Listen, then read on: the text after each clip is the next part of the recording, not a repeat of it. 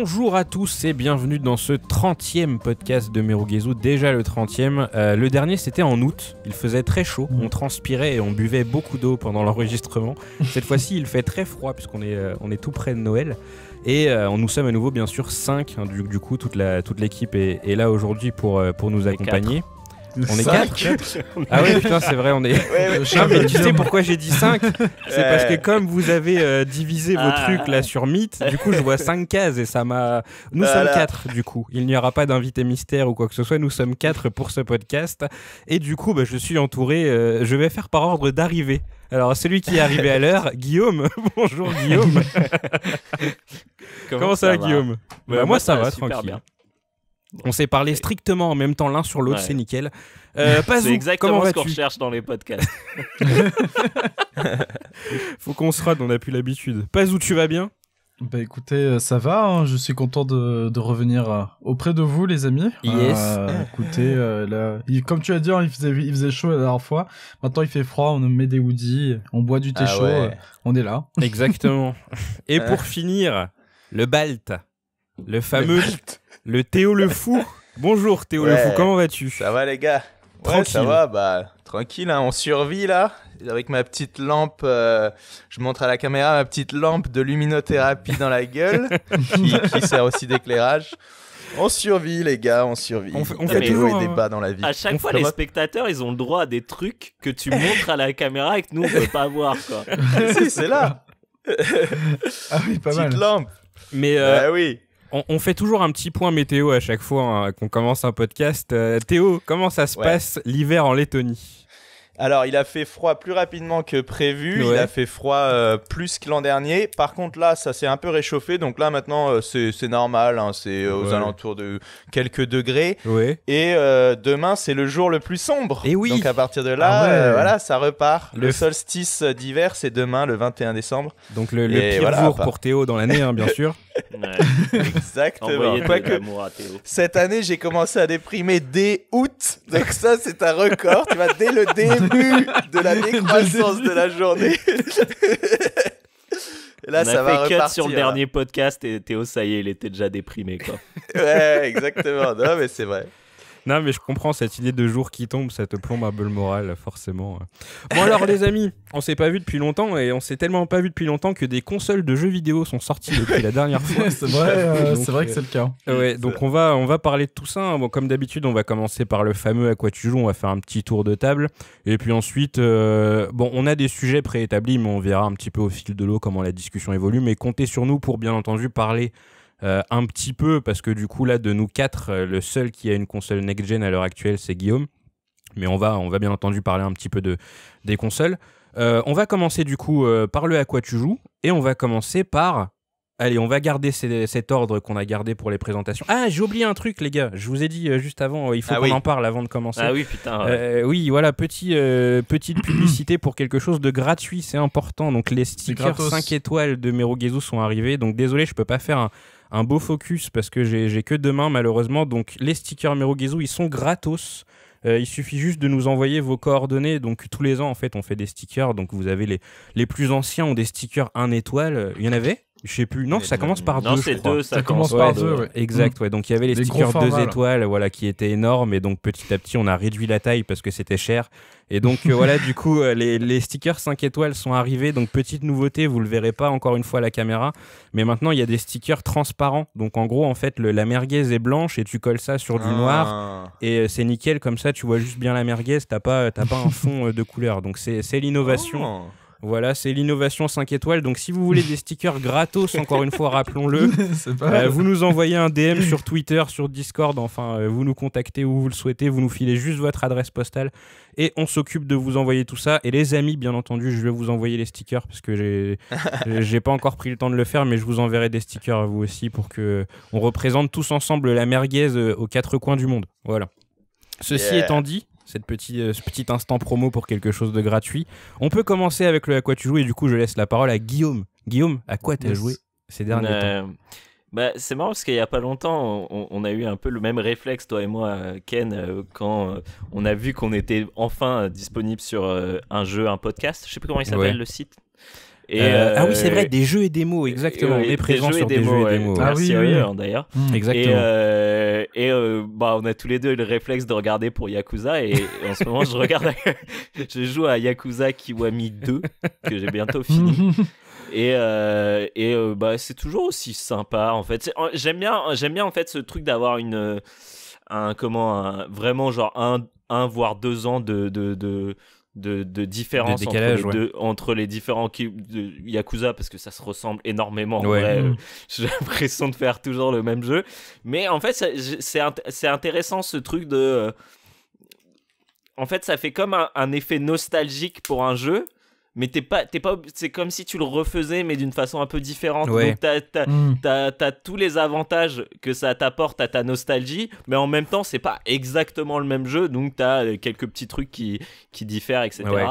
Euh, donc voilà, c'est toujours si cool. Euh, en fait, ça m'a, c'est bizarre, mais en y jouant, et, euh, et, et, là, attention, on y, arrive, on y arrive assez rapidement, le point compagne de Merugezu. et euh, et euh, j'étais en train de faire les, les sub-stories, donc j'expliquais à ma compagne, parce qu'elle comprenait pas du tout ce qui était en train de se passer, ça ne faisait absolument pas sens. Et en fait, je me suis rendu compte que ça m'avait ça, ça me ramenait à ce feeling qu'avaient les, les, premiers euh, GTA sur PS2, donc le 3, le Vice City et le San Andreas.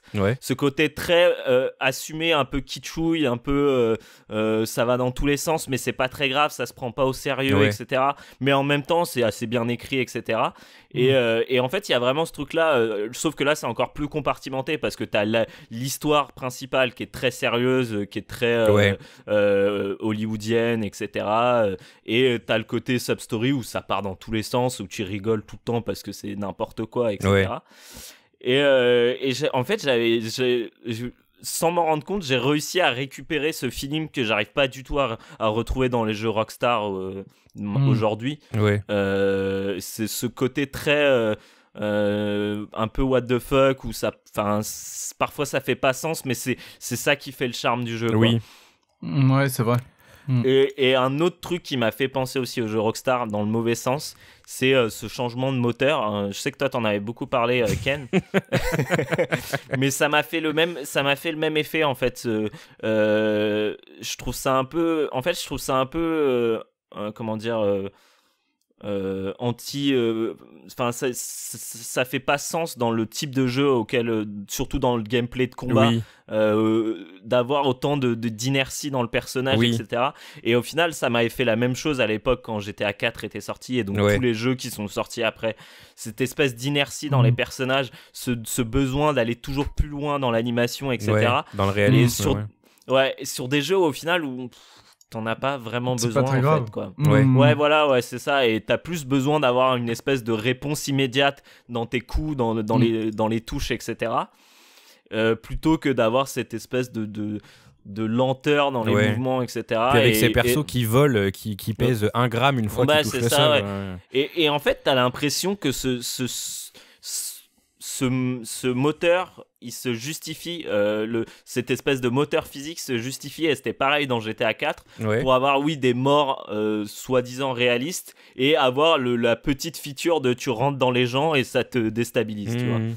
Mmh. Et Enfin, je sais pas, je perso, je je comprends pas l'intérêt d'avoir ça, quoi. Ouais. Donc voilà. Après, tant mieux parce que du coup, tu vas enchaîner avec euh, le, alors tu vas prendre le temps d'enchaîner avec le 3, le 4 et le 5 qui vont arriver du coup sur Xbox. Sur Game Pass, ouais, ça, Voilà. Mais l'avantage, c'est que là, du coup, c'est l'ancien moteur sur ces trois jeux, donc euh, t'as pas de, t'auras pas du nouveau moteur et moi non plus d'ailleurs parce que je compte me faire Yakuza 3 prochainement avant euh, avant le 6, du coup, donc là-dessus on est on est tranquille.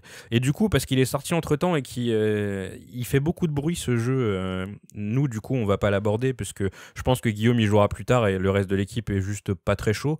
Yakuza 7, euh, est-ce que ça t'a fait monter davantage la hype de rejoindre ah, un petit coup à Kiwami 2 euh, ouais. Ah, mais grave, j'ai trop envie. Ben, en fait, là, j'hésite vraiment à le faire parce que je me dis, bon, au final, c'est un autre personnage, c'est, on repart un peu à zéro, etc. donc pourquoi pas et surtout ce truc de me dire en fait je vais faire un yakuza mais en où j'aurai pas les mêmes ça va pas être la même chose en fait ça va être hmm. totalement différent mais en même temps je vais garder ce petit feeling que j'aime bien dans le jeu euh, un peu euh, un peu déluré etc euh, donc ouais ça me fait grave de l'œil Après, je me dis que vu comment ça, ça marche, il y a de grandes chances qu'ils finissent par arriver sur le Game Pass. Oui. Euh, donc je vais peut-être attendre avant de, Ouais, ça se comprend, ça se comprend totalement. Mais après, ouais, je pense que Yakuza 7 marche autant là en Occident. déjà parce que le, le, RPG tour par tour, c'est un genre qui est quand même plus, plus démocratisé que le beat'em up chez nous.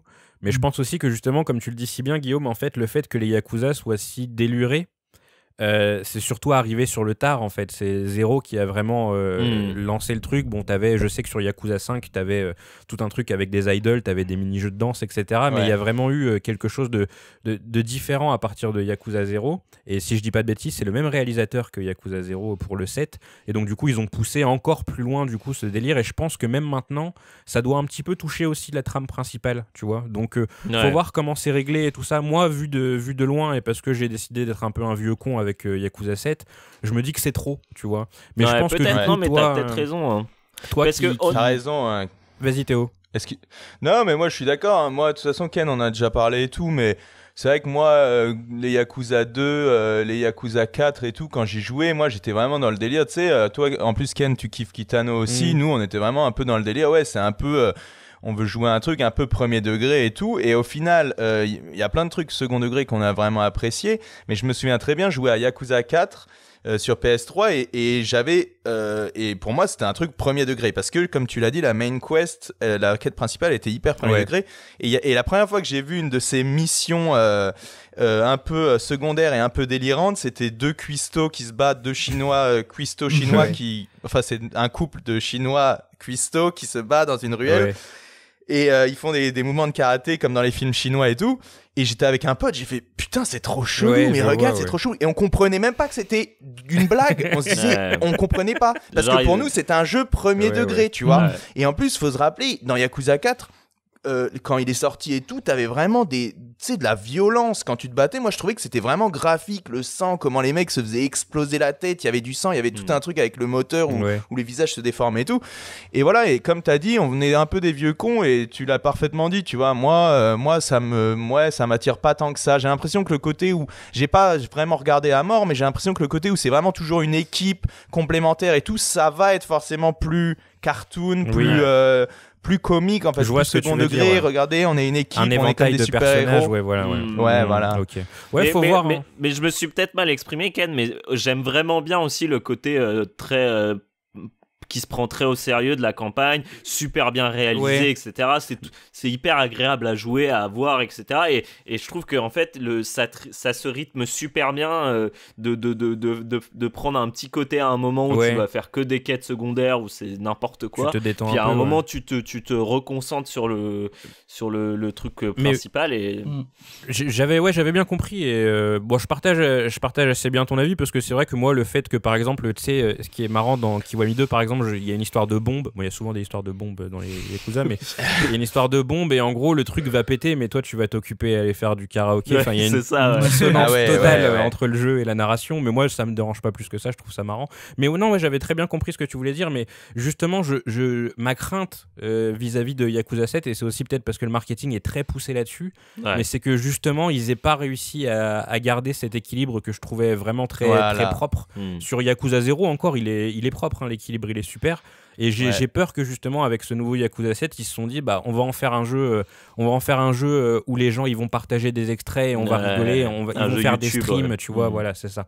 Mm. Donc après faut voir et je suis content que, que toi au moins euh, tu sois amené à le faire un jour parce qu'on pourra on pourra en reparler. T'avais un autre jeu que mm. tu voulais évoquer aussi, je crois, rapidement peut-être? Euh, ouais, ouais, juste rapidement, je joue à Watch Dogs Legion et franchement, je suis hyper dessus, quoi. Ça me prend trop. Ça me... Là, pour le coup, ça se prend beaucoup trop au sérieux. Et euh, c'est, c'est, je sais qu'avec Théo, on avait adoré euh, euh le, le, 2. Le 2. Ouais. Et là, bien. Mm. Ouais, mais et en fait là ils sont repartis dans les travers du premier euh, ah. avec des mm. scénarios qui veulent rien dire. Et, et, ils ont en fait ils ont même réussi à faire pire que le premier parce que bah sais pas, t'as T'as, t'as, un scénario qui est compliqué pour rien, mais en même temps, ils savent pas te l'expliquer parce que ça passe par des, des podcasts ou des trucs comme ça que tu peux même pas écouter en jouant. Ah oui, d'accord. Ça n'a aucun sens. tu, tu, hmm. es obligé de rester dans le menu et écouter les podcasts pour pouvoir euh, comprendre un peu, un peu le, le, le, le, hmm. le lore du jeu qui, qui au final veut rien dire. Enfin, l'univers est, enfin, je sais pas, je, je... Et, et, en fait, il y a cette sensation où euh, quand je joue à un jeu comme ça, un peu en monde ouvert, etc. T'as toujours un moment où tu commences à t'approprier le, le, la mhm. ville et, euh, et, tu commences vraiment à avoir tes repères, etc. Et, mais même après 40 heures, le jeu, il n'y avait rien qui me, qui me parlait, en fait, tu vois. Hmm. Pourtant, t'es client de ce genre de jeu. Hein. Bah ouais, ouais, non, mais clairement. Et, mais là, il y a. Y a et, ça, on voulait en parler assez rapide euh, aussi, mais c'est ce, ce manque de, de, de, de, d'évolution dans le jeu, ce manque de challenge où en fait le jeu te donne tout dès le début. Ouais. ne spoil pas ta chronique.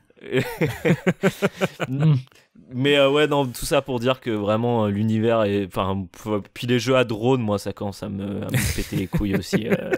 Et en fait, c'est que le gameplay est tellement, est tellement limité.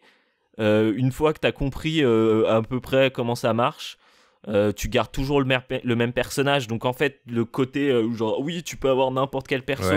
Ça n'a aucun, ça, ça n'a aucun intérêt parce que tu finis par garder le même personnage parce que c'est celui qui peut avoir les drones qui volent. Tu peux arriver au-dessus d'une. C'est ça. Et en fait, j'ai vu beaucoup de journalistes parler du level design, etc. dans le jeu. Mais en fait, le level design, pour moi, il est pas bon parce que ça te pousse à faire toutes les missions de la même façon, en fait. Ouais. Mm. Et, et, et, et, parce que dès que tu essayes de faire autrement, ça finit toujours par partir en couille parce qu'il y a un truc qui marche pas. Ouais. Et là où, euh, où euh, GTA 5 par exemple le faisait assez bien avec le changement de personnage parce que les personnages vivaient en même temps que toi tu jouais ton autre personnage. Là en fait, quand tu changes de personnage, ça recharge la partie, tu arrives au milieu, au genre au, début de la mission et tu hmm. recommences tout depuis le début. Ah, il n'y a même pas, il y a aucune, euh, il y a aucun truc qui s'imbrique en fait, tu vois, il y a aucun hmm. euh, gameplay émergent qui se crée parce que tu te dis ok, bah alors là attends, je vais, je vais essayer de passer avec euh, tel personnage pour faire ça, pour désactiver ça. Après j'arrive avec mon drone et je fais, mais en fait non, ça marche pas parce qu'en en hmm. fait ça recharge la mission et tu recommences la mission depuis le début quoi. Ouais. Ouais, donc le, le, le, gimmick euh, du jeu qui a été mis en avant, euh, il est flingué. Non, c'est complètement flingué. Et, et, et, ils avaient réussi à créer une ambiance avec le 2 mm. euh, qui était très cool, qui était très lumineuse, etc. Où t'avais avais ce côté, bah ouais, très fun en fait. Où, où tu vois, où c'était pour une fois, j'avais l'impression d'avoir ce truc où, où, Ubisoft assumait le fait de pas savoir faire des, game, des, des, des scénarios et qu'ils étaient vraiment en mode genre bon on sait qu'on sait pas faire des univers cohérents et que euh, et que de toute façon dès qu'on essaye d'être sérieux c'est nul à chier mm. euh, là voilà on fait un sandbox quoi. voilà on vous fait un sandbox on nous fait un personnage qui est hyper euh, attachant un truc un, un, un, un, scénario qui se prend pas au sérieux on, tout, était bon, tout, tout marchait pour que le jeu soit vraiment agréable à jouer. Là, il y a rien. Genre euh, Londres, il est, c'est hyper, euh, c'est hyper grisâtre. Euh, donc tu sais, tu te sens oppressé, etc. Mais pas, mais tu, mais en même temps, vu que le scénario il est pas intéressant, bah, tu t'as pas ce truc ou cette surcouche par dessus le scénario où tu te dis ah oui, je suis vraiment dans un monde dystopique, etc. C'est juste, c'est chiant quoi, en fait. Ok. Hmm. tu, tu conseilles pas quoi non, non, bah non, parce que même les voitures sont nulles à chier. Enfin, c'est vraiment, c'est vraiment ce retour à Watch Dogs, quoi. Donc c'est un jeu sans personnalité, sans, mm. sans vraie vie, quoi, de, dedans, quoi. Très bien. C'est clair que, juste pour dire, mais Ubisoft, euh, quand ils réfléchissent, ils ont vraiment du mal à, à trouver une identité parce que s'ils font sérieux premier degré, souvent c'est assez mal écrit. Et quand ils font humoristique, des fois, on se dit, oh, ils en font trop, ils en font trop. Et effectivement, je trouve T'as raison, Guillaume. Watch Dogs 2, il avait ce, ce bon équilibre, tu vois. Mais mm. je trouve qu'il faudrait vraiment qu'il se restructure. Et justement, avec les, il y a eu des affaires, des gens qui se sont fait virer cet été et mm. tout, avec les histoires et tout, ça serait bien qu'ils restructurent, même que Serge Ascoué soit parti et tout, ça serait bien qu'ils repensent leur truc de, un peu en profondeur, quoi. Qu'ils engagent au moins des quelques écrivains, euh, quelques artistes qui, qui imposent un peu plus une vision et disent, nous, on veut faire ça comme ça et pas genre, c'est le truc qui veut plaire à tout le monde. La formule Ubisoft classique, ouais. Mais bon, tant qu'ils tant qu'ils s'y retrouvent au niveau financier, ils vont pas forcément changer, donc à voir. Hein. Malheureusement, c'est réel. Ouais. Pazou, à ton tour. Bah, alors, Pazou, euh, c'est plus ou moins euh, un, à quoi tu joues qu'on a fait ensemble. Donc, euh, bah, c'est toi qui vas en parler parce qu'après, j'ai mon jeu, mais, mais, mais je t'épaulerai parce que c'était une expérience super cool, même si je suis pas encore arrivé au bout personnellement. C'est ça. Et d'ailleurs que tu as streamé hein, pendant un petit moment, du coup. Hein, et, du coup, pour euh, pour les personnes qui veulent savoir, bah, c'est Sekiro, euh, le jeu en fait euh, que j'ai joué. donc, il était sorti l'année dernière, il me semble. Hein, c'est ça. Début début 2019, ouais. D'accord. Et bah, j'étais un peu passé à côté parce que je me disais que oui, voilà, le jeu, euh, je sais pas trop si je peux le faire sur ma PS4, etc. J'étais pas très chaud à cette période. Puis après, finalement, bah, Ken l'avait fait. Euh, il avait acheté, je crois que c'était, t'étais un des pro... enfin, c'était quand il était sorti, je crois. Ouais, je l'avais chopé, hein. euh, je l'avais chopé, je l'avais emprunté à l'époque où je bossais à Micromania très très tôt, ouais. Mm-hmm. Et ouais, j'avais, j'avais fait vraiment le, début du jeu. Hein, C'est ça. Je m'étais arrêté assez vite, ouais le début et du coup bon bah après euh, je sais pas ce qui s'est passé. Tu m'en as reparlé en plusieurs fois. Tu disais que c'était le meilleur euh, jeu From Software. From Software pardon. Oui. et du coup euh, par un moment je me suis dit bon allez euh, vas-y c'est je l'ai pas fait celui-là on va le faire. Et du coup je l'ai fait et, et très bonne surprise parce que je m'attendais pas en fait à un truc de fou hein, clairement bah en fait non que nenni hein, From Software c'est vraiment les boss du game hein. euh, ils sont très très forts le ce que j'ai apprécié dans le jeu euh, on va en parler peut-être enfin tu vas peut-être plus en parler en détail que moi mais moi ce que j'ai vraiment apprécié dans le jeu c'est le système de combat euh, mm. qui est ultra dynamique parce que moi j'adore Bloodborne, c'est mon From Software préféré, qui était tout pour l'attaque. Donc euh, sur Dark Souls, il fallait plutôt plus euh, se défendre plutôt que qu'attaquer. Du coup, mhm. Bloodborne a, a, lancé en fait euh, la phase inverse. Hein. Il faut justement en fait euh, trouver les failles pour parer, tirer au pistolet, ensuite faire des, des, des parades plutôt que des backstabs, etc. Même si c'est encore possible. Hein. Bah là, Sekiro c'est encore beaucoup plus poussé que ça. En fait, hein. il faut vraiment bah, parer à un timing très précis du coup les attaques pour pouvoir bah du coup euh, vider la barre de posture, euh, du coup en fait de balance et ainsi en fait essayer de de de, bah, de, de se débarrasser de ses ennemis, hein, les mobs et les mini boss, enfin les mini boss et les boss. Ouais, t'as en gros trois, euh, trois, euh, trois types d'ennemis, entre guillemets. T'as ceux qui se flinguent vraiment très vite, t'as les, les mini-boss mm. qui, euh, plus tard, deviennent au final des ennemis aussi, on va dire, basiques. Mais, mais ouais, pour, pour revenir à ce que tu disais, quand je te disais, parce que du coup, on est, on est, on est un petit groupe d'amis avec Pazou et il y a, y a, deux autres personnes qu'on salue d'ailleurs, Aurel et mm. Nazim. Et euh, on joue à. Enfin, eux trois sont à mort sur les jeux From Software, en fait. Et euh, moi, j'avais commencé Sekiro, et euh, du coup, pour les, pour les pousser à faire Sekiro, parce qu'ils parlaient sans arrêt de Bloodborne, je leur disais non, mais les gars, c'est le meilleur Soul, ah c'est le meilleur Soul, c'est le meilleur Souls. Mais moi, j'avais fait que le début du jeu, mais en fait, dans le peu que j'avais vu de Sekiro à l'époque, déjà j'étais complètement séduit, justement pour ce que, mm. ce que Pazou invoque, c'est tout ce gameplay du jeu qui est complètement fou. Et enfin, ça se joue à mort. Il y a un petit côté beat'em up, mais très léger, parce que tu restes malgré tout sur mm. une typologie assez action RPG. Et euh, ouais, ce système de parade où tu dois parer vraiment, euh, euh, pas à la frame, parce que c'est quand même assez, assez conciliant, mais bon, quand même, faut faire mm. gaffe et tout. c'est vraiment super bien foutu. Et puis surtout, ce que j'ai aimé dans ce jeu, c'est que tu c'était déjà d'ailleurs le cas dans Dark Souls 1 et 3 que j'avais fait mais tu apprends vraiment énormément en jouant et encore une fois, mm. ça rejoint un petit peu ce dont on discutera tout à l'heure avec Guillaume, mais le jeu t'offre bien entendu des billes pour progresser.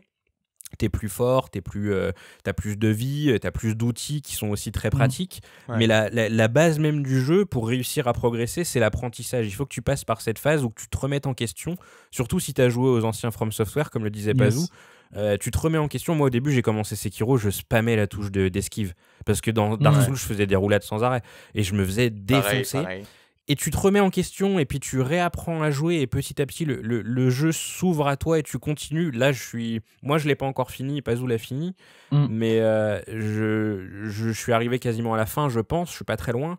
Et là, par exemple, j'ai renvoyé pour la première fois une attaque électrique ah et, j'étais comme un dingue. Je me suis dit, putain, j'ai réussi à le faire et tout, machin. Et donc, le jeu continue à, à m'offrir euh, de la satisfaction par le biais du gameplay euh, assez tardivement, sans pour autant me filer des bonus qui sont malgré tout cool et qui permettent euh, de rendre la progression un petit peu plus aisée.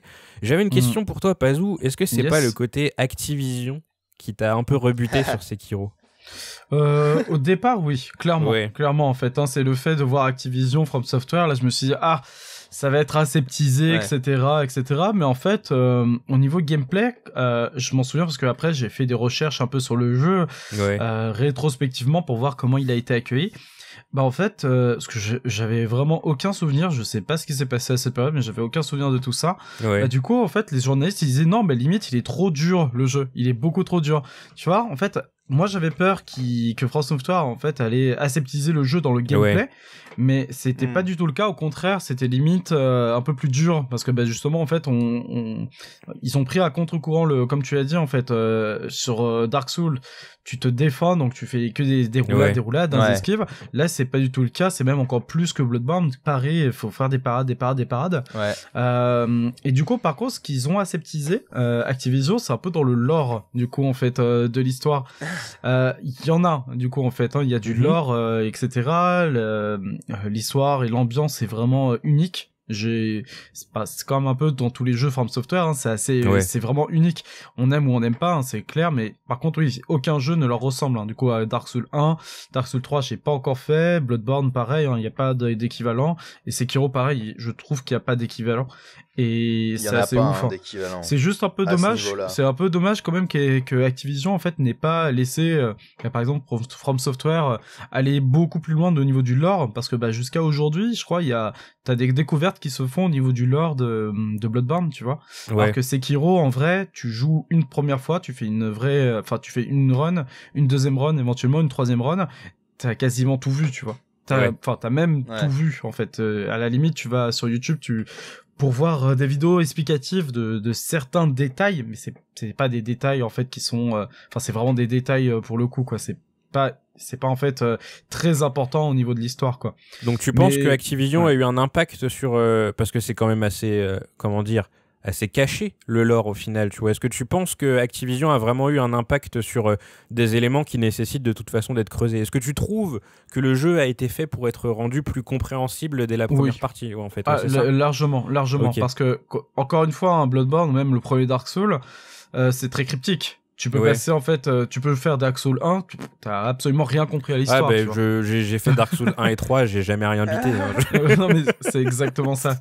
Là, quand même, Sekiro, on te prend par la main, tu vois. On te dit, oui, c'est vrai. Il y a un scénario, bah, voilà, il faut déjà il y a des cinématiques. Oui, c'est vrai. T'es exactement. Alors qu'il n'y a pas de cinématique dans Dark Souls. C'est vrai. Donc euh, ni dans Bloodborne. Il y a une cinématique. Ah si, dans Bloodborne, quand tu sautes du pont là je me rappelle, mais le reste. Ouais, dis-moi. Bah, en fait, dans Sekiro, il y a quoi? Il y a quelques cutscenes, c'est tout. Hein. Enfin, je crois même qu'il y a mais, pas de cutscenes. Mais avant, il y en avait pas du tout, quoi. Non, il y a un peu plus. Hein. Euh, un peu plus action et un peu comme tu as dit Ken, ça va plus du côté beat'em up que du côté RPG et un peu plus de narration et tout. Ouais. Mais ouais. Mais moi ce que j'ai euh, adoré. Pour, pour, rester mm. dans cette histoire d'accessibilité, euh, le gros problème que j'avais avec c'est avec Dark Souls, c'est que euh, il y avait trop de chiffres partout. Il y avait trop de statistiques. Ah, clairement, Et, comme le jeu est difficile en plus, tu te dis tout le temps il faut que je fasse les bons choix. Et puis tu dois enchanter tes armes. Et puis mm. machin. Et puis machin. Uchi Katana plus 53 et machin. Tu dois le mm. coupler avec du feu. Honnêtement, je m'y perdais. Et, et, et, du coup, je, je, faisais un espèce de blocage. C'est que j'appréciais énormément le jeu pour euh, ce qu'il m'offrait sur une run. Mais j'avais pas envie de voir plus. Quoi. Et là, je trouve que Sekiro euh, bah, en, se débarrassant de toute cette partie très RPG au final, bon, qui a dû frustrer pas mal de gens, parce que hmm. Dark Souls, c'était quand même, euh, et Bloodborne aussi, je pense, c'est des exemples en termes de RPG. Et bah, moi, je m'y suis retrouvé dans le sens où je me suis dit, bah vas-y, au moins je suis tranquille, j'ai hmm. une arme. Il euh, n'y a pas d'histoire de t'enchantes les armes, machin et tout. quand tu fais augmenter la seule stat, les deux seules stats que tu augmentes, c'est ta puissance et, et ta vie. Et hmm. enfin ton attaque et ta défense, en gros, et ça augmente tout seul, t'as pas le choix à faire. Et donc, du coup, ouais, c'est euh, d'un ce côté-là, ça m'a enlevé un, un, gros stress et j'ai pu, du coup, davantage profiter du jeu et, m'intéresser un petit peu plus à l'histoire, à ce genre de choses, mm. au point de trouver des, des Pazoul a vécu en live, j'ai trouvé toute une, une, quête secondaire. En fait, j'ai avancé dans une quête mm. secondaire qui était super importante pour le jeu et j'aurais pu totalement passer à côté. Ah. Et c'est le genre de truc sur euh, Dark Souls, je, suis passé à côté parce que je, m'en foutais, quoi, tu mm. vois. Mais là, j'étais impliqué, j'avais envie du coup d'aller un petit peu plus loin. Euh, Théo, peut-être que tu avais quelque chose à dire puisque toi, t'as pas mal joué à Sekiro aussi, non? Ouais, bah, je l'ai fini, j'ai eu la mauvaise fin parce que euh, bah, quand tu te bats contre Oula, j'allais spoiler. Ouais. Bah, en fait, quand tu te bats, enfin, tu, faut, que tu vas une fois dans le château. Tu vas une fois dans, au-dessus du château. J'ai eu la mauvaise fin. Ensuite, je l'ai recommencé. Je suis arrivé jusqu'à euh, une zone plus loin, mais mm. à ce moment-là, bon, j'en avais eu ma dose, donc pour l'instant, euh, je l'ai pas, j'ai pas eu la bonne fin, jamais eu. Mais euh, ouais, ce que je voulais dire, c'est ouais, ce que tu ce que as dit par rapport aux caractéristiques et tout, mm. comment on dit déjà, les skills, les, les, numéros, les, les, chiffres et tout, ça je suis assez d'accord. Mais j'avoue qu'il y a un truc qui qui était pas mal pour, le, pour la psychologie, pour ne pas devenir fou, dans, pour moi en tout cas, dans Bloodborne, dans Dark Souls et tout, c'était que tu pouvais, entre guillemets, farmer. Et du coup, psychologiquement, tu disais, ok, je vais aller farmer, je vais continuer à jouer, et quand je reviens, je serai plus fort. Et ça se trouve, c'était un peu placebo effect, tu vois, parce que ça se trouve, en fait, ça changeait pas grand chose, tu gagnais ça de plus de vie. En réalité, c'était surtout ton skill. Mais psychologiquement, moi, ça me faisait, ça me faisait moins stresser. Et là, j'avoue que quand tu es bloqué sur un boss et que tu le refais 15, 20 fois, ah, euh, voire plus mm. même, et que tu dis j'ai pas le choix, je peux pas aller farmer ou, ça, ça peut rendre fou. Et du coup, euh, c'est vrai que sur la fin, moi, c'est vrai que j'avais trouvé qu'il y avait beaucoup de boss qui se sont succédés mm. et, j'ai eu, j'en ai eu un peu jusque là.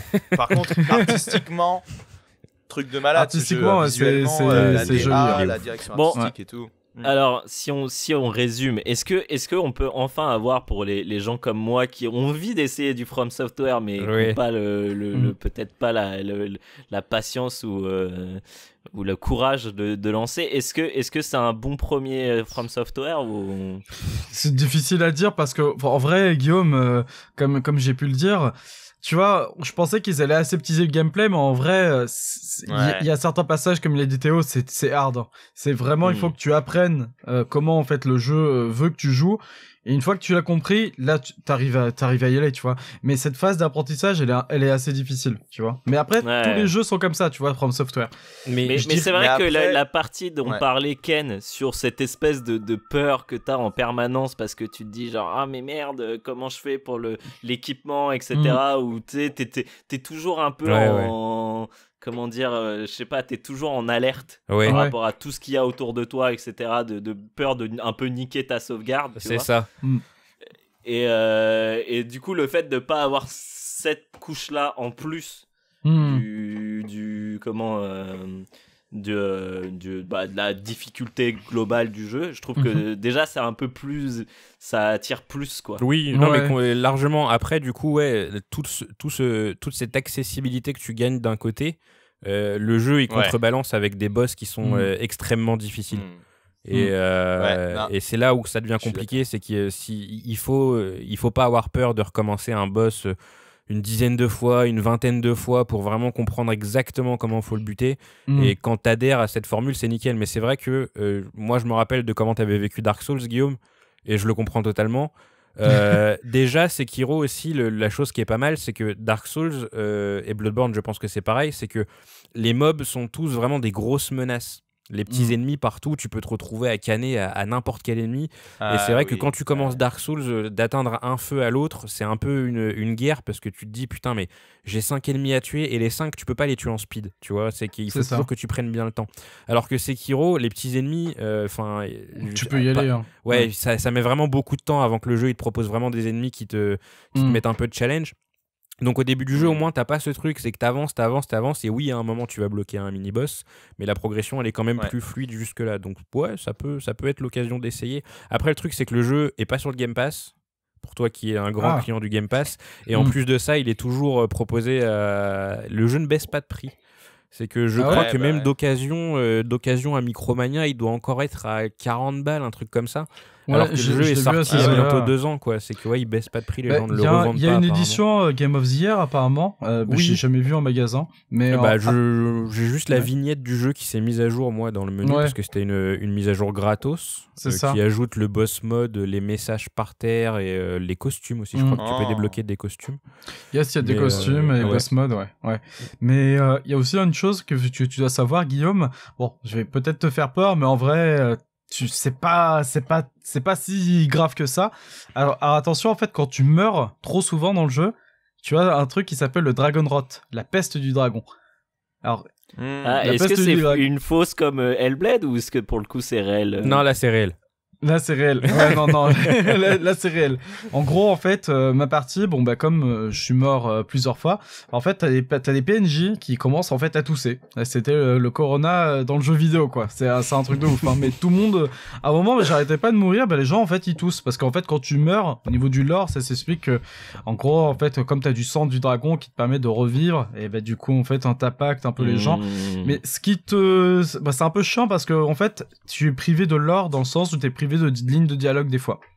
Et tu peux les guérir, ah mais c'est un peu relou et tout ça et tout de les faire euh, de les faire euh, de les faire guérir quoi. Mais c'est un peu ça peut être un peu embêtant de, de se dire ah ben du coup euh, il y a des lignes de dialogue que je n'aurais pas que je n'aurais pas parce que bah du coup l'autre il est en train de tousser. Mmh. Après ça ça entrave pas la, trame principale. Ah oui exactement la, la trame principale c'est vraiment quand, quand, je te dis l'or c'est vraiment enfin c'est vraiment être chiant. je veux savoir tous les les détails les détails trucs elle parle avec truc enfin voilà, tu vois, c'est des trucs comme ça. Ouais, mais c'est pas comme le, le, le, le, bâton de Hellblade où il te, il te, faisait miroiter que le jeu était fini à ce moment-là, quoi. Non, ouais, non, non, ouais, mm. rien à voir. Ouais. C'est un truc qui est réel et qui a au final qui a un petit impact, mais tu peux, tu peux parfaitement avoir tout le monde qui tousse. Euh. Enfin, peut-être que tu n'auras pas accès à certains trucs de temps en temps, mais c'est léger, c'est pas.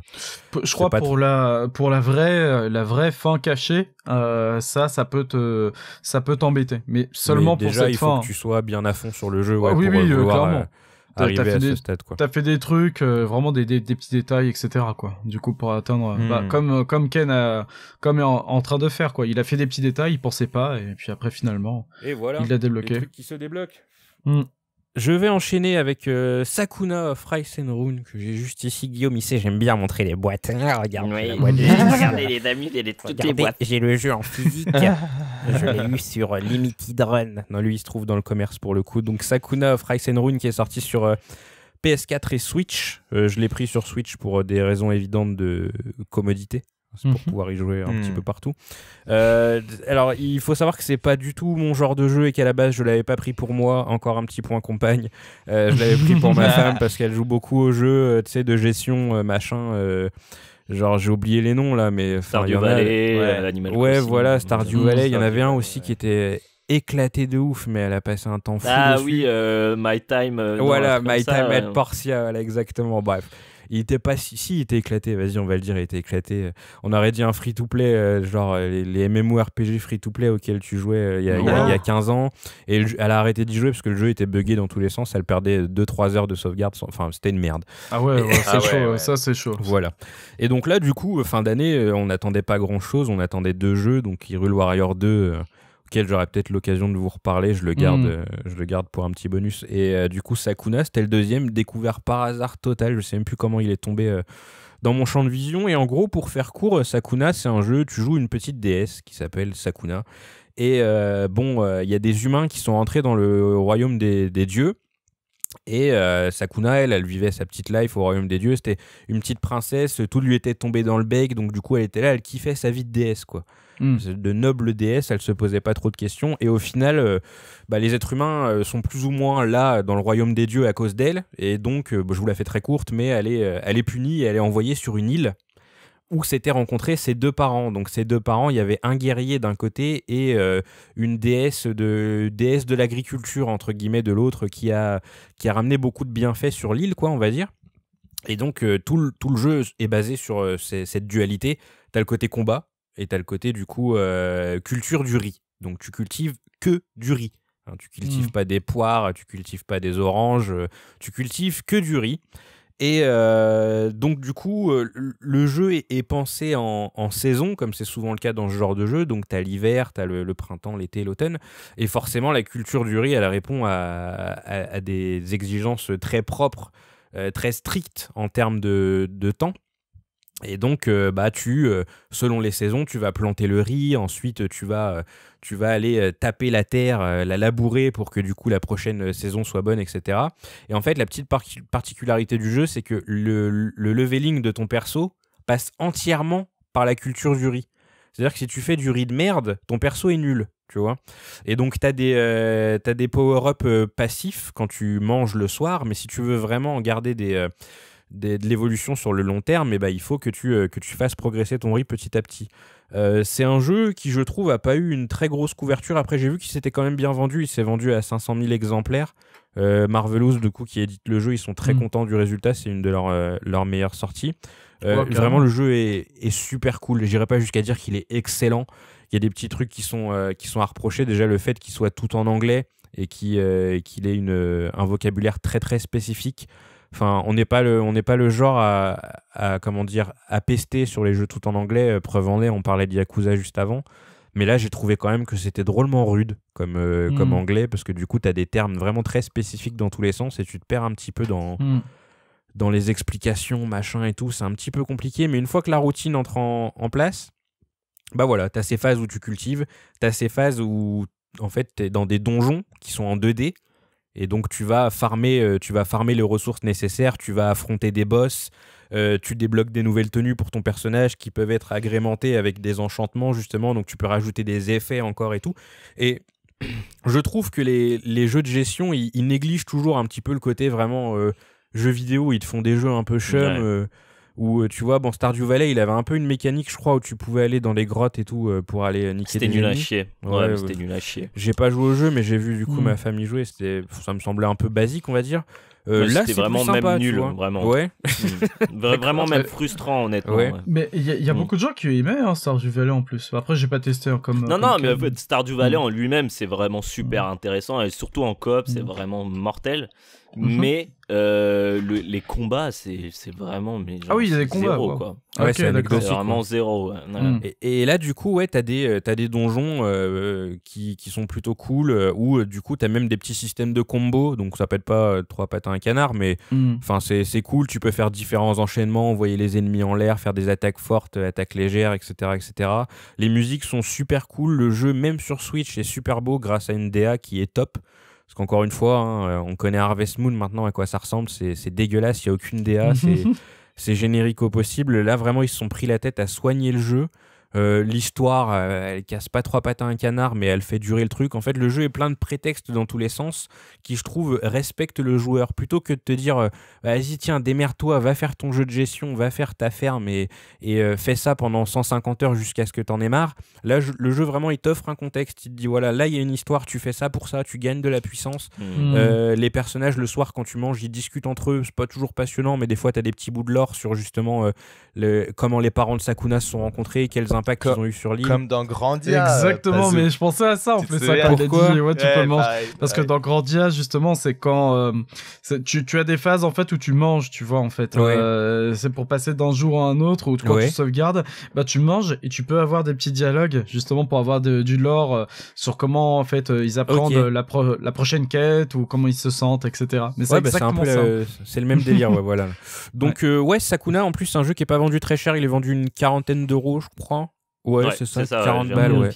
Euh, je, je le conseille. Je, je, vais y aller franchement. Hein, euh, j'ai pas envie de dire ouais bon peut-être que dans certaines conditions et tout machin je pense que ça mm. vaut le coup après mm. euh, voilà pour quelqu'un qui est peut-être vraiment concentré sur la gestion bah, comme comme ma femme elle a lâché le jeu au final oui c'est ce que j'avais demandé ouais, elle a pas réussi à accrocher c'est plus moi qui était au taquet sur le jeu bon là j'ai pas eu trop le temps d'y jouer moi de mon côté je jouais avec elle à l'époque où on jouait ensemble euh, j'attends euh, de finir Sekiro et DMC pour euh, justement m'y mettre par petites sessions ici et là. Mais en mm. tout cas, moi qui suis pas jeu de gestion à 100% et qui je trouvais qu'il manquait toujours un truc dans les jeux de gestion, là j'y ai retrouvé mon compte et vraiment top de top quoi. Voilà. Cool. Théo, c'est ton tour. Oui. Bonjour Théo. Bonjour. non mais ça a l'air cool ce jeu en tout cas. je vais, je vais noter le nom. Sakuna, c'est ça? Sakuna, c'est ça, ouais, qui est fait par le studio Edelweiss, un petit studio japonais. À ne pas confondre avec ceux qui ont fait Yeti Sport. Merci Wikipédia. ah oui, d'accord.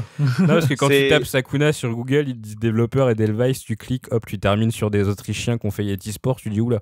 Mais non, non, c'est pas, les mêmes Edelweiss. Ouais. ça c'est clair. C'est sur euh, Switch, PS4 et aussi sur PC apparemment, donc je vais, eh je ben en parler. Euh, Parfait. Peut-être.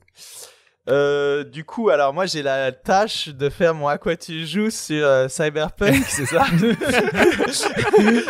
Donc euh, c'est compliqué parce que bah en gros là nous on va en discuter tous ensemble un peu après, c'est ça? De l'affaire ouais, dans la foulée, ouais, on, dans la foulée, donc là, donc là je vais je vais faire le le, le le, comment dire le nigo, le neuneu. Je vais juste parler comme s'il n'y avait pas d'affaire. Voilà, parle de ton expérience de jeu, exactement. Très bien. Bah, euh, on l'a lancé déjà euh, comme on avait fait pour Doom Eternal, euh, d'ailleurs qu'on avait fait, qu'on avait mis en ligne sur la chaîne Merugezu.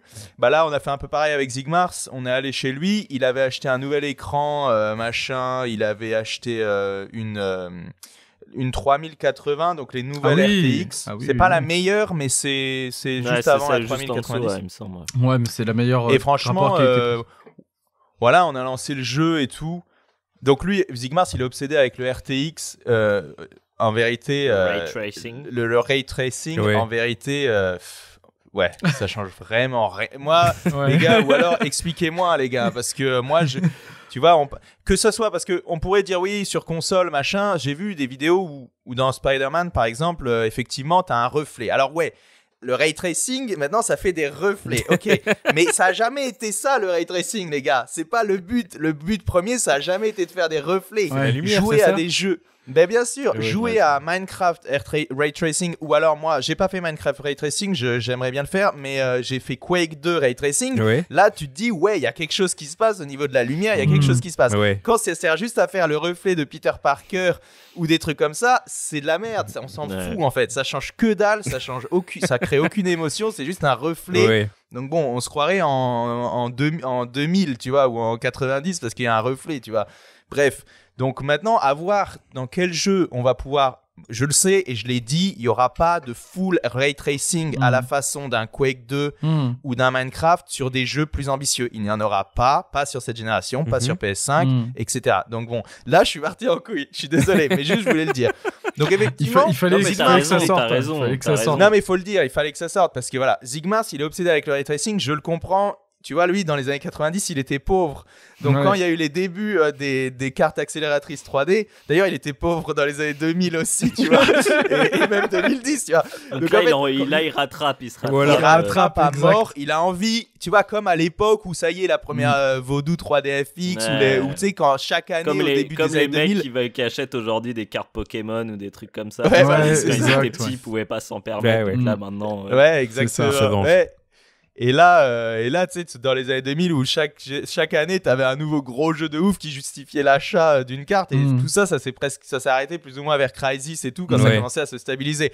Pour mon grand plaisir que ça se stabilise un peu, parce que t'as pas non plus envie de raquer tous les ans, tu vois. Mm. Alors, tout ça pour dire que bon, là, on a joué en ray tracing on, etc. Et mine de rien, euh, avec cette carte et avec toute cette configuration, ouais, on s'est pris une grosse claque. Mm. Et c'est là où je veux peut-être en venir sur ce jeu, c'est qu'il y a là par rapport aussi à toute la polémique, au débat et tout, c'est vrai qu'il y a un gros euh, paradoxe en fait sur ce dans tout ça, c'est qu'en fait le jeu, tu sens qu'il est conçu un peu à la manière d'un Last of Us 2 quand il hmm. joue sur PS4, tu vois, sauf il est conçu pour te mettre une gifle, tu vois. C'est ça le but du jeu. Et sauf qu'en fait, on est à un stade où effectivement, il y a une part euh, énorme des joueurs qui peuvent pas se prendre cette gifle, que ce soit du point de vue technique ou même euh, que ce soit tout simplement de jouer au jeu parce qu'il y a des bugs et tout.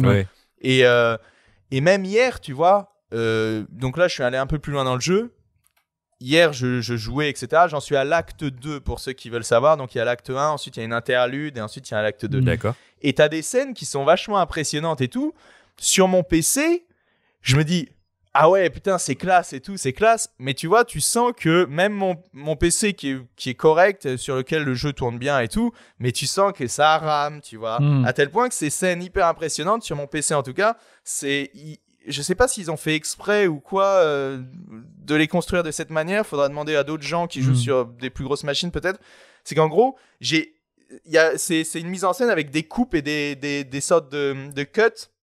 Du coup, j'ai une séquence mais c'est volontaire, hein. c'est une séquence d'action, cut, fondu, euh, écran noir. Une autre séquence d'action, cut, écran noir. Et ça se veut narratif, mais en même temps, tu sens que derrière ça, à chaque écran noir, le jeu, il est en train de se charger pour essayer, allez, je vais lui en mettre dans la gueule. Non, mais allez, allez, on y va.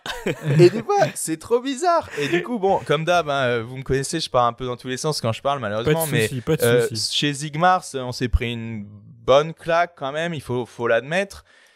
Et, euh, et, ensuite, chez moi, là, ben, maintenant, j'ai continué. Donc, chez Zigmars, on avait fait les premières, euh, les premières heures, on va dire. Et là, j'ai continué chez moi. Et euh, malheureusement, je vais avoir du mal à donner un avis mm. global et tout, parce que, à mon goût, j'ai pas encore assez bien, mm. comment dire, embrace, comment ouais, dire. J'ai pas assez, assez joué, quoi. Voilà pour vraiment me rendre compte en fait que mm. voilà comment ça fonctionne vraiment le monde ouvert et tout euh, quand t'es plus dans mm. en fait je sais pas à quel point euh, l'histoire principale va toujours te prendre par la main et dire tu vas là tu vas tu vas ici tu vas là ou est-ce que à un moment donné on va plus le laisser le choix? Il semblerait là j'en suis au tout début de l'acte 2 il semblerait qu'on te laisse un peu plus le choix de de choisir un peu euh, tiens j'ai du temps devant moi je peux faire ci je peux faire ça ok mais bon non bah Ouais, moi je dirais que c'est ce, dont, ce à quoi je m'attendais, plus ou moins. Ouais. Toi, tu es, quand même un, un, gars de CD Projekt. Hein tu, tu, as, tu, tu, tu, as farmé les, les, les, trois Witcher. Euh, c'est un studio que tu apprécies, je pense. Ouais, ouais, j'aime bien, j'aime bien, euh, j'aime. C'est pas, c'est pas un truc, euh, c'est pas, une, je suis pas fanatique. Oui. Euh, mais euh, je les aime bien, tu vois, et j'aime bien aussi, tu vois, GOG, j'aime bien, j'aime bien leur service, j'aime bien Maintenant, euh, s'ils se mettent dans des situations comme ça, euh, je continue à bien les aimer, mm. mais mais c'est compliqué. Mm. moi, ces derniers jours, tu vois, j'y ai pensé honnêtement et je cogitais. Je me disais, mais comment ils auraient pu faire différemment et tout? Et, mm. et tu te dis, bon, euh, c'est quand même une grosse compagnie. J'imagine qu'ils ont retourné le problème dans tous les sens. Ils se sont dit, on fait ça comme ça et puis c'est tout, quoi. Alors, avant de, de, creuser du coup cette histoire qui est quand même assez, assez bordélique, non, non, mais t'inquiète, c'est juste un lien naturel. T'as un truc à dire peut-être, non, mais parce que moi, j'ai quand même un peu joué au jeu euh, et euh, je voulais réagir un peu à ce que disait, ce que disait Théo sur le jeu. Et, euh, et en fait, là où il met pas une claque, donc j'y ai joué sur Series X. Et là où hmm. il met pas une claque de façon sur ce qui est graphique, etc.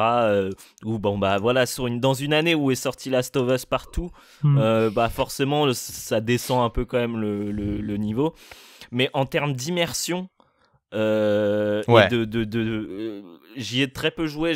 Le jeu a planté et ça m'a saoulé. je l'ai pas relancé mhm. après.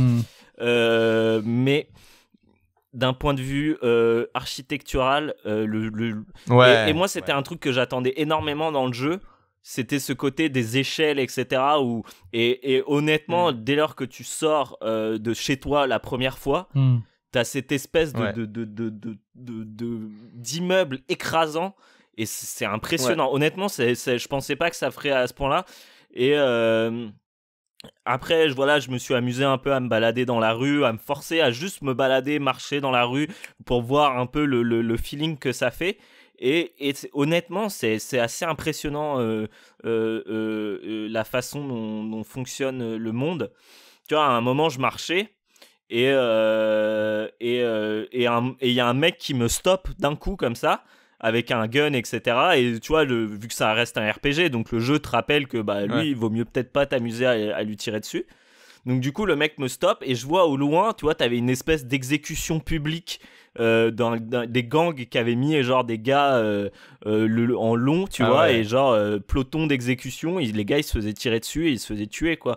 Et genre, tu sais, c'était là, genre, oh putain, hmm. ok, tu vois, genre, il, y a, y a, il se passe quand même quelque chose dans le monde, etc. Après, à voir, est-ce que c'est c'est une, une cutscene qui va se répéter 15 fois dans le jeu euh, mm. euh, Ça, je peux pas le dire. Mais euh, il y a vraiment ce truc où tu sens qu'ils ont prévu pas mal de, de, de, de, pour les gens, même si le côté RPG est assez, assez light dans le jeu, mais le côté roleplay, donc pour les gens qui vraiment, un peu comme on en parlait à l'époque pour Red Dead Redemption, oui. mais euh, ce côté où si tu décides vraiment de, de, de, de, t'immerger dans le jeu, etc.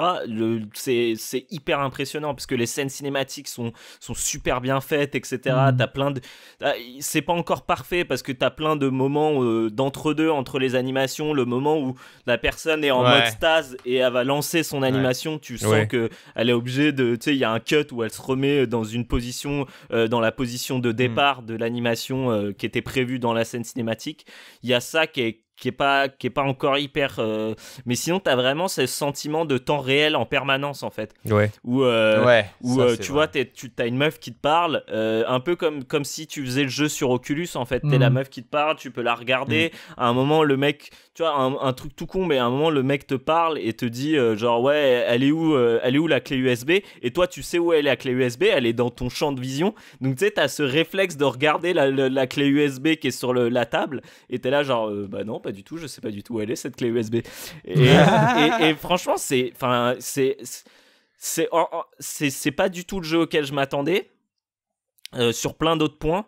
Et, mais en même temps, il y a ce côté euh, immersion qui, qui a l'air d'être fantastique. Et je pense que je vais attendre d'avoir qu'il y ait tous les patchs qui arrivent pour vraiment le refaire. Mm. Mais, euh, mais en fait, j'ai l'impression qu'ils ont essayé de s'attaquer à Rockstar avec ce jeu et, euh, et, et, que peut-être c'était un peu trop un peu trop gros pour eux quoi. Théo. Euh, ouais, alors justement, cette question par rapport à Rockstar, GTA et tout, on en vient presque à se dire, mais en fait, tout l'aspect euh, GTA, vraiment de conduite de véhicules, de trucs et tout, si on, se si on les compare à Rockstar, ils seront toujours. Euh, c'est la première fois qu'ils font ça, hein, et ils ont hmm. pas même, ils ont pas les mêmes budgets et tout. Et effectivement, c'est pas là où moi j'en viens presque à penser, mais est-ce que c'était vraiment nécessaire de, de vouloir aller de ce côté-là, du beaucoup de, de voitures, de conduite et tout et tout, hmm. alors que clairement le jeu, euh, quand tu quand y joues, en tout cas comme je l'ai fait là pour l'acte 1, tu, le jeu, il passe son temps à te mettre dans des situations super narratives où euh, t'es pas du tout en train de dire tiens j'ai envie de me mhm. balader dans la rue et flinguer des mecs au hasard. C'est pas du tout ça. Es... Non. Je sais pas comment euh, comment c'est pour toi Guigui, mais à chaque fois je me retrouvais dans des scènes qui étaient euh, comment dire impliquantes où on était vraiment immergé et et qui étaient narratives, narratives, narratives. Et c'est pour ça que j'aimerais y jouer plus longtemps pour voir comment le jeu s'ouvre et à mhm. quel point c'est un GTA. Mhm. Mais clairement t'as presque l'impression qu'ils ils auraient dû assumer jusqu'au bout c'est comme s'ils avaient s'étaient dit tiens Comment tu dis? Pardon, ils auraient dû assumer jusqu'au bout et dire on fait un jeu 100% linéaire. Euh, il n'y a pas forcément de monde ouvert. et, euh, et peut-être ça aurait gagné en, en, qualité, euh, tu vois. Ouais, pas 100% linéaire, mais comme un Witcher, quoi. Ou enfin, mm. Comme un Witcher. Ça, ils auraient pu vraiment mettre le côté sur le l'emphase sur le côté urbain, mais rue piétonne, etc. C'est une mégalopole et tout et tout. Mais, bon, bref, quand on, va loin. Quand on en parlait sur Discord, je sais plus c'est Ken ou toi qui avait dit quelque chose qui était très juste. Ah oui, c'est Ken qui avait dit ça c'est trop, c'est pas assez RPG pour les pour les, les, puristes du RPG, mais en même temps c'est pas assez GTA pour les gens qui jouent au GTA en fait. Mm. Donc c'est vraiment il est le cul entre les deux chaises et, et tu te dis en fait s'ils avaient poussé le curseur d'un côté ou de l'autre. Bah, moi, je pense plus du côté RPG parce que c'est ce qui s'est là où ils avaient attiré leur, ah leur épingle du jeu. et franchement, le jeu aurait pu être vraiment euh, euh, après, voilà, comme j'ai très peu joué, et, mais, dans de sens, sentiment un peu de gâchis où parfois, tu, tu, tu, tu bah, quand tu conduis, tu dis, ouais, est-ce que ça valait vraiment le coup d'avoir ce côté conduite euh, bah, en plus, et en plus, c'est un peu bizarre parce qu'au final, le jeu qui fonctionne euh, actuellement, qui est plutôt meilleur sur PC, en tout cas qui fonctionne bien sur PC. Au final, quand tu conduis, bon bah vous connaissez hein, sur PC en général, à moins que vous hmm. ayez une autre technique les gars, mais moi je ah, conduis avec euh, le clavier WASD quoi, le clavier. donc c'est pas On connaît le mec qui a fini Forza Horizon hein, au clavier. Comment tu Ah oui oui oui, Forza Horizon, ouais, tu te souviens.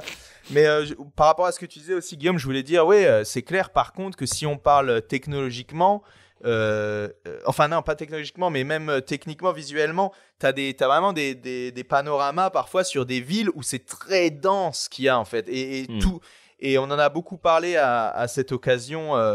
c'est qu'en fait, il y a énormément d'éléments que la console doit gérer en, en, même temps. Et pas juste, par exemple, hmm. si tu joues à, à euh, Cuisine Royale, par exemple, où les arbres, bah, il y a deux types, enfin, il y a deux types pour chaque euh, espèce d'arbre. Et du coup, bah, tu les multiplies, tu les multiplies, et c'est du, entre guillemets, après, moi, je suis pas un techos de ouf à comprendre absolument mm. tout ce qui se passe, mais apparemment, c'est plus simple d'avoir euh, quelques arbres qui se répètent et les dupliquer à mmh. l'infini mmh. qu'avoir bah, chaque immeuble est unique. Et c'est d'ailleurs le problème qu'ils ont eu aussi avec les clones, puisque plus, euh, plus la version est modeste, entre guillemets, plus il y a de clones, effectivement, parce que quand on y a joué chez Zigmars, il n'y avait pas de clones. Chez moi, il y a quelques clones. Hmm. Et sur console, apparemment, il y en a beaucoup. Ouais, il y a beaucoup de clones. C'est à se demander sur Next Gen, ça va, euh, honnêtement. Sur Next Gen, non, mais là, sur Next Gen, par exemple, tu vois, tu vois, Guigui, euh, toi, tu as la, as la série X? Ouais. Beau gosse. Du coup, euh, ouais, là, tu as, une version qui, qui, commence vraiment à se rapprocher des bons PC. Mmh. Mais, mais on, est, on, reste en mode rétrocompatibilité. Hein. C'est pas encore la version. Voilà, c'est ce que j'allais dire. Mais, mais, mmh. attends pour le patch. Et là, à mon avis, là, euh, tu auras quelque chose qui sera quasiment. Euh, ouais. Euh, à voir, hein. je, je, je, pense que ça sera vraiment de haute qualité. Bah, de toute façon, le jeu va être poliché dans ce sens. Sans voilà, ouais, Mais justement, oui. je me suis senti d'utiliser ce mot. Théo, je, je, je, voulais te dire, euh, toi, tu es sûrement le plus joueur PC de, de nous quatre. Ouais. Et euh, est-ce que tu est-ce que tu es d'accord pour dire que les, les, les jeux CD Projekt euh, qui sont sortis sur console ont toujours eu une ADN très PC Parce que moi, personnellement, quand j'ai lancé mm. The Witcher 3, le jeu m'a fait fuir en deux secondes. Ah parce que l'interface, elle était mais les, textes étaient. ce, qui me, ce, qui me, ce qui me choquait avec les jeux PC dans les années 2000, c'est que les textes étaient toujours très petits. Parce que je sais pas, les gens jouaient euh, sur leur bureau, je sais pas, tu vois. Et euh, c'était comme ça que tu reconnaissais un jeu PC, limite quand ça passait sur Game One ou quoi. Tu te disais, ah bah le texte il est petit, c'est un jeu PC. Ah oui, ah, et, quand, et, quand, j'ai joué à The Witcher, l'interface t'avais plein de petits trucs partout et je me disais mais ça c'est chier en interface hein. ouais, Et, je me disais mais ça c'est pas un jeu console. Et encore j'ai joué à The Witcher quand il y avait eu Blood and Wine et tout donc je, suppose que le ah jeu avait des mises à ah jour en plus, tu vois. donc ouais il y avait des mises à jour et, très tôt en fait je me suis dit non quoi. Et est-ce que tu penses pas au final que CD Projekt est resté sur euh, cette, euh, cet ADN de jeu PC et ce qui au final euh, gênent moins les joueurs PC parce qu'ils sont habitués à, devoir bidouiller, ils sont habitués hmm. aux, euh, à, comment on appelle ça, euh, aux optimisations compliquées, aux modes, etc. etc. Est-ce que tu penses pas qu'au final, ce, ce, ce, gros shitstorm, qui est pour le coup, je ne veux pas le défendre hein, parce qu'on va revenir hmm. dessus, le jeu est sorti dans des états lamentables, mais est-ce que tu penses qu'il n'a pas été amplifié justement par le fait de cette espèce de confrontation entre deux philosophies qui sont la philosophie console d'un côté et la philosophie PC de l'autre? Si, bah absolument. Mais alors déjà, si, juste pour rappeler ça, mais c'est des projets, c'est c'est quatre jeux pour l'instant. Oui. Euh, Witcher 1 n'est jamais sorti sur console. Il était en développement mm. et ça a été annulé. Witcher 2 n'est absolument pas sorti euh, day one sur console. C'était euh, c'était bien plus tard. Sur hein. J'ai plus les, dates. Moi, voilà, il est sorti en mai 2011 et par exemple Nico, il y a joué sur 3.6 après, euh, quand il est sûrement fin d'année 2012. Et Witcher 3, par contre, c'est le jeu euh, qui est sorti partout euh, en même temps. Donc, c'était leur premier jeu à, mm. être multiplateforme. Donc, oui, clairement, est-ce qu'ils ont l'habitude de faire ça de, de, faire des, des... En plus, aujourd'hui, on a cette situation où il y a énormément de plateformes, comme vous le savez le, le, vrai problème de, de, de, de, Cyberpunk, c'est d'être sorti en plein entre deux générations en réalité. Parce que ils, mm, sortaient dans un an ou deux euh, au moment où de plus et en plus rappelez-vous euh, la rupture de stock. PS5 Xbox tout ça ça a été en rupture de stock. Et, ça veut dire et une génération en deux temps en plus hein, parce que c'est pas il pas sorti en, c'est une génération où il y a euh, eu la, la, la One X et la Pro Hmm. Après, il y a beaucoup déjà. Euh, il y a beaucoup de gens euh, sur Internet qui disent. Les gens en avaient marre aussi que, euh, de, pardon de te couper, mais aussi les gens ils avaient marre que ce soit repoussé, je crois deux ou trois fois. Hein, Ils en avaient marre. Les gens ils voulaient vraiment jouer au jeu il y a beaucoup de gens sur hmm. internet qui disent oh mais le jeu a été annoncé avant même la sortie de la PS 4. la PS4 et de la Xbox One ce qui est vrai puisque le jeu de mémoire il avait été annoncé dans à l'été après Witcher 2 donc euh, vers euh, été 2012 je peux me tromper mais il me semble Sauf que, ouais, les gars, c'est vrai. Sauf qu'entre temps, ils ont annoncé Witcher 3, ils l'ont sorti. Et vous voyez, c'était, ils hmm. l'avaient annoncé avant même d'annoncer Witcher 3. On était tous persuadés que le prochain jeu après Witcher 2, c'était Cyberpunk à l'époque. Hmm. Donc, cette excuse de dire ça devrait être. Non, je pense que le vrai problème, c'est que euh, je leur trouve pas non plus d'excuses. Là, il y a clairement un truc. Évidemment, pour bien mettre le doigt sur le problème, si on parle de ça maintenant, c'est le fait qu'il n'ait pas montré de version. Oui, euh, c'est ça. Expliquons un petit peu pour les gens qui n'ont pas bah suivi. le, jeu est sorti, donc du coup, enfin, il y a les versions test qui ont été envoyées euh, ici et là, et c'était des versions PC.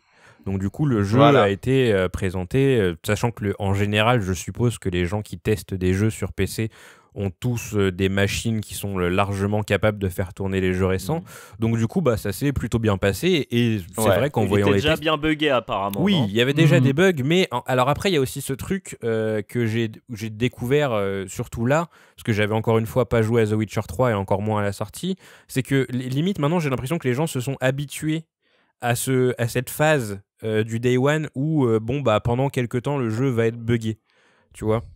C'est un truc qu'on retrouve un petit peu aussi hmm. chez les jeux euh, sur les jeux Ubisoft moins maintenant mais je me rappelle de Unity par exemple qui avait eu un lancement qui était complètement catastrophique et, et, du coup il y, y, a ce truc bon on fait le test sur PC, mais on sait que ça va être mieux de toute façon, euh, peut-être même dans deux semaines, tu vois. Mais euh, hmm. on, a vu des bugs, mais bon, enfin ça va, c'est jouable. Et le jeu, au final, avait, euh, avait pas des notes dégueulasses, ça s'est plutôt bien passé.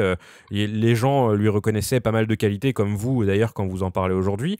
Et puis là vient le, les, viennent les versions console, qui en fait ont été délivrées du coup encore une fois à la presse. Euh, un jour avant le day one, si je dis pas de bêtises, voilà, c'est ça. Et donc du coup, euh, ce qui est euh, ce qui est triste dans cette histoire, c'est qu'on est passé d'un CD Projekt. Euh, moi, je me rappelle, je bossais à Micromania à l'époque et genre dans la boîte des jeux, ils avaient mis des, des petits mots en mode euh, ouais, merci beaucoup, mm. euh, c'est grâce à vous tout ça, on a un petit studio et tout et franchement mm. vous déchirez, il va y avoir 13 DLC gratos. C'est ça, ouais, c'est ce que pour The Witcher et tout. Mm. Et du coup, bah tu te disais ouais, enfin les mecs, c'est tu, tu, les vois encore comme des petits artisans polonais, ils sont là, ils, arrivent à, à, faire quelque chose d'assez d'assez grand qu'ils ont eu du mal à maîtriser, mais tu leur trouves des excuses. Les années passent et au final l'entreprise, elle est cotée en bourse, elle est, elle est gigantesque. Et euh, tu as, cette situation où de, de gens qui te disaient. euh, ah bah merci euh, pour euh, de, de nous soutenir et tout, on va vous faire des mmh. cadeaux. On arrive à cette entreprise qui cache volontairement une version console euh, aux yeux des consommateurs. Ah bien sûr. Et il faut pas oublier qu'il y avait aussi les affaires de crunch aussi. Hein. Oui, exactement. les affaires de crunch autour du jeu, etc. Euh, et, c'est le bordel, en fait, tu vois. Tu te dis, d'un côté, euh, ils, sont, comme Théo le dit, le jeu est annoncé depuis euh, avant Witcher 3, donc du coup... Non, alors, ouais, j'ai revérifié les dates. Donc, en fait, le Witcher 2 sur PC, c'est avril 2011. Sur console, c'est avril ou mai 2012. Et dans la foulée de la sortie console de Witcher 2, là, ils ont annoncé Cyberpunk. D'accord, donc c'était, ouais, du coup, aux alentours de 2012. 2012. Donc mhm. ils, ont eu, euh, ils ont eu du temps pour plancher sur le projet. Après, bien sûr, l'équipe a, énormément grossi, je pense, après The Witcher 3. Euh, et, là, on est face à un cas de malhonnêteté assez incroyable où euh, enfin tu, sens qu'ils sont strictement incapables de gérer un, un planning parce que le jeu, il l'annonce, il change la date au dernier moment tu te dis bon bah s'il change la date au dernier moment c'est je sais pas pour peaufiner et tout machin et au final le jeu sort c'était pour le finir et ouais, et le jeu sort, il, est, atomisé. Et là, le, le, jeu, tu vois des vidéos partout. Des gens, euh, enfin, il y a plein de trucs qui vont pas dans tous les sens. Et puis des trucs assez marrants, comme Théo disait, ray tracing, il y a des trucs qui font des reflets. Mais comme le jeu est dans une lutte perpétuelle contre lui-même et qui charge des éléments tant bien que mal, euh, tu, tu, vois par exemple que dans les reflets, tu vois que les mecs ils sont en train de taper des postés comme ça parce qu'ils ont pas bah été chargés entièrement. ah, bah alors à ce moment-là, ça peut. Ouais, c'est assez compliqué. Et, euh, mm. et, et ce que je voulais évoquer, c'est que du coup, il y a cette philosophie euh, console euh, PC qui, qui, qui, disparaît petit à petit, parce qu'aujourd'hui, nos consoles, au final, c'est des, des, PC euh, avec une configuration fixe, hein, ni plus ni moins. Hmm. Il y a un truc qui est, qui est, assez populaire dans le, dans le jeu PC et qui, je pense, aurait pu totalement régler la question. D'un côté, des, des, personnes assez impatientes et de l'autre, des personnes qui auraient été plus indulgentes. C'était l'early access. Euh, je, reviens vers toi, Théo, parce que euh, Pazou aussi d'ailleurs, et peut-être hmm. même toi, Guillaume, on a tous acheté Minecraft en early access à ah l'époque. ouais, c'était un exécuteur euh, Java à l'époque. C'est ça, exactement. et tu payais le jeu moins cher, et on te disait, bah, le jeu, tu le payes moins cher. T'auras la version complète quand elle sortira, et en attendant, hmm. bah, tu joues au jeu, mais tu sais à quoi t'attendre, quoi. De toute façon, tu payes moins cher, donc t'es pas, tu peux hmm. pas trop te plaindre, quoi. Et je comprends pas que plutôt que de faire preuve de malhonnêteté comme ils l'ont fait, en vendant le jeu à 70 euros euh, et, en cachant les, mhm. choses aux gens, qui se sont pas dit, bon, peut-être que l'early access c'est une solution, parce qu'il me semble que sur Xbox, c'est des choses qui existent déjà, les early access. Non bah je pense que pour, pour un projet de ce calibre, ça n'a jamais été fait et, ils avaient, à mon avis, ils auraient eu peur d'être le crash test, euh, le premier, les premiers à essayer. Mais clairement, moi, comme je t'ai dit, j'ai réfléchi récemment et il y a plein de choses qu'ils auraient pu faire, à mon avis. Mhm. Et euh, à mon avis, aussi le fait qu'ils soient focalisés sur les fêtes de fin d'année du point de vue euh, purement business, alors que, comme euh, j'ai lu à droite à gauche, c'est vrai que Cyberpunk, vu le buzz qu'il avait, il sortait en mars, il cartonnait tout pareil. il n'avait pas besoin de, de, Père Noël, de Papa Noël et, et, de tout ça pour cartonner. À mon avis, c'était pas le sujet, tu mm. vois, avec déjà des millions de précommandes, etc. Effectivement, là, moi, je pense qu'ils ont cru ouf. Ils, ont, ils se sont fait croire qu'ils allaient pouvoir euh, réparer le jeu euh, pendant le laps de temps euh, avec le patch, le fameux hmm. patch Day, Day 1, Day 0, etc. Et, et alors, à voir après quelle version les journalistes ont eu, parce que c'est pas voilà pour me faire l'avocat du diable, mais je me balade pas mal sur l'internet avec cette affaire et tout, et j'ai vu qu'effectivement il y a pas mal de gens, même dans les commentaires des différents sites en anglais et français, qui disent Ah, cette verse, voilà, il y a eu le patch 1.5 ou 1.05 mhm. qui est sorti et ils disent Ah, quand même, je vois une amélioration. Je vois une amélioration. Ouais, bien sûr. Mais c'est toujours pas ça. Enfin, moi, je vois, mais, par exemple, si on parle, euh, mes frères, ils jouent sur PC, ils ont tous les deux des PC hyper puissants. Euh, je crois même euh, que Dim, il a une 3090. Hmm. Le jeu, il est buggé pareil. Hein, et les deux, ils ont ah arrêté de jouer. ils ont dit Bon, bah, j'y rejouer quand, quand, quand le jeu sera fini. Ah non, non, mais je suis d'accord avec toi. Il y a deux, de toute façon, il y a deux discussions. Il y a le jeu qui est buggé sur PC, qui aurait déjà fait une polémique, à mon avis, mm. dans, une certaine mesure. Oui. Mais, euh, mais le pire, c'est clairement euh, la situation avec les consoles, etc. Et d'ailleurs, le jeu a mm. été. Euh, enfin, maintenant. Microsoft et Sony, donc c'est Sony qui a mm. emboîté, enfin qui a commencé à, faire ça, ont proposé un remboursement intégral. Ah, ils l'ont même viré du store. ils l'ont viré hein. du store pour le cas. Je sais pas si c'est le cas chez Xbox. C'est le cas là, maintenant, ça sera, ça sera bientôt le cas. J'avais vu une news euh, passer, j'avais vu une news passer pour Xbox. Non mais attends, parce que Xbox, le truc, si je dis pas de bêtises, euh, les gars, c'est t'as le Cyberpunk, tu l'achètes une fois que tu l'as acheté sur euh, ton Xbox.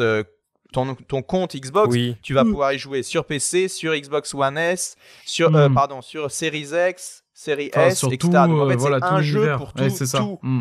Donc en fait, ah, il, est valable aussi sur le Microsoft Store, tu crois?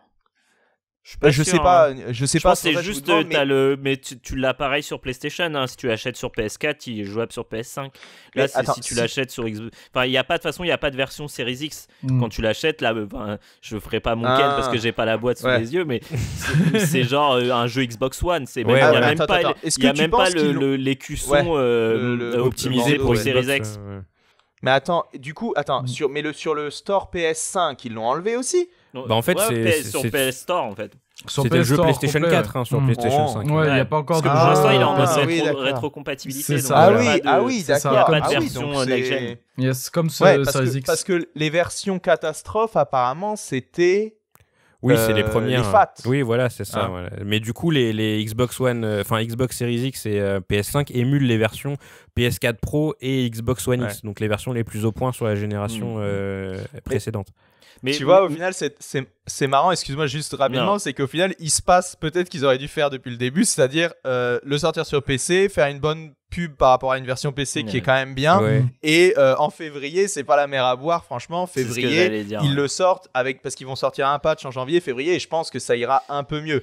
Au final, ils se sont cassés leur image entre mmh. deux, quoi. Alors que franchement. Mmh. Euh, et mais, mais c'est ce que tu disais bien, en fait, c'est le ce problème de, d'inexpérience. En fait, ils veulent avoir les ambitions de studios comme Naughty Dog ou comme, euh, ou comme Rockstar. mais ils n'ont pas l'expérience. Et, et, si tu regardes Rockstar sur Red Dead Redemption 2, euh, ils l'ont sorti d'abord sur console, ils ont attendu, pareil pour GTA 5, hein.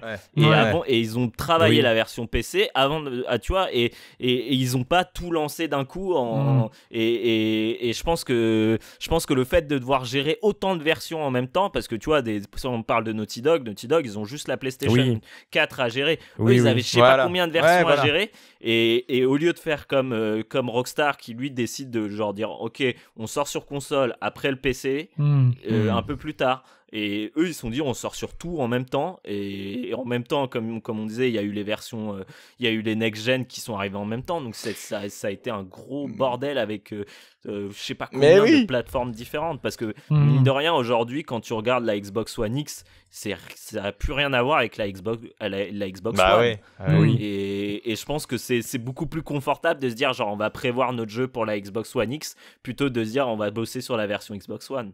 Ouais, oui, oui, bah oui, totalement. Bah, ça s'est vu d'ailleurs sur les, les derniers jeux de la génération. Euh, on parlait de Sekiro tout à l'heure, hein, euh, hmm. par exemple. Euh, j'ai souvenir aussi de bah, Resident Evil 2 et peut-être 3 aussi, je l'ai pas encore fait. Mais tu sentais vraiment à partir de 2019 qu'il y avait un virage qui s'était opéré et que les versions plus, ce qu'on appelait les versions plus à l'époque, donc sur les, les, consoles Pro et, et, et One X, c'était vraiment les versions qui étaient devenues avantagées. Ouais. Mais c'est vrai que le plus gros problème aujourd'hui, c'est que bah, tu as intérêt d'avoir beaucoup de, de, personnes, beaucoup d'argent et, et, savoir aussi gérer toutes ces personnes et cet argent pour euh, proposer une expérience qui soit propre sur autant de supports parce que là il y en a vraiment beaucoup. Euh, mm. et puis le, la, la, Xbox Series S par exemple vient encore compliquer un petit peu plus euh, un petit peu plus la donne quoi. Donc du coup mm. c'est c'est compliqué. Et comme tu le dis Guillaume au final je pense que c'est un peu la grenouille qui voulait se faire aussi grosse que le bœuf c'est que c'est des projets ils ont du fait de leur succès, ils, se sont retrouvés à une place.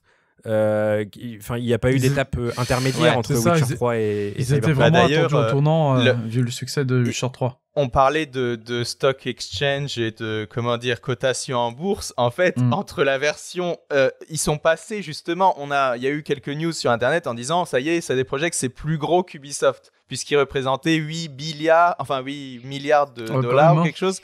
Mais en fait, ils avaient rien sorti quasiment entre deux, à part le jeu euh, Thronebreaker, bah des petits jeux de Gwent et tout.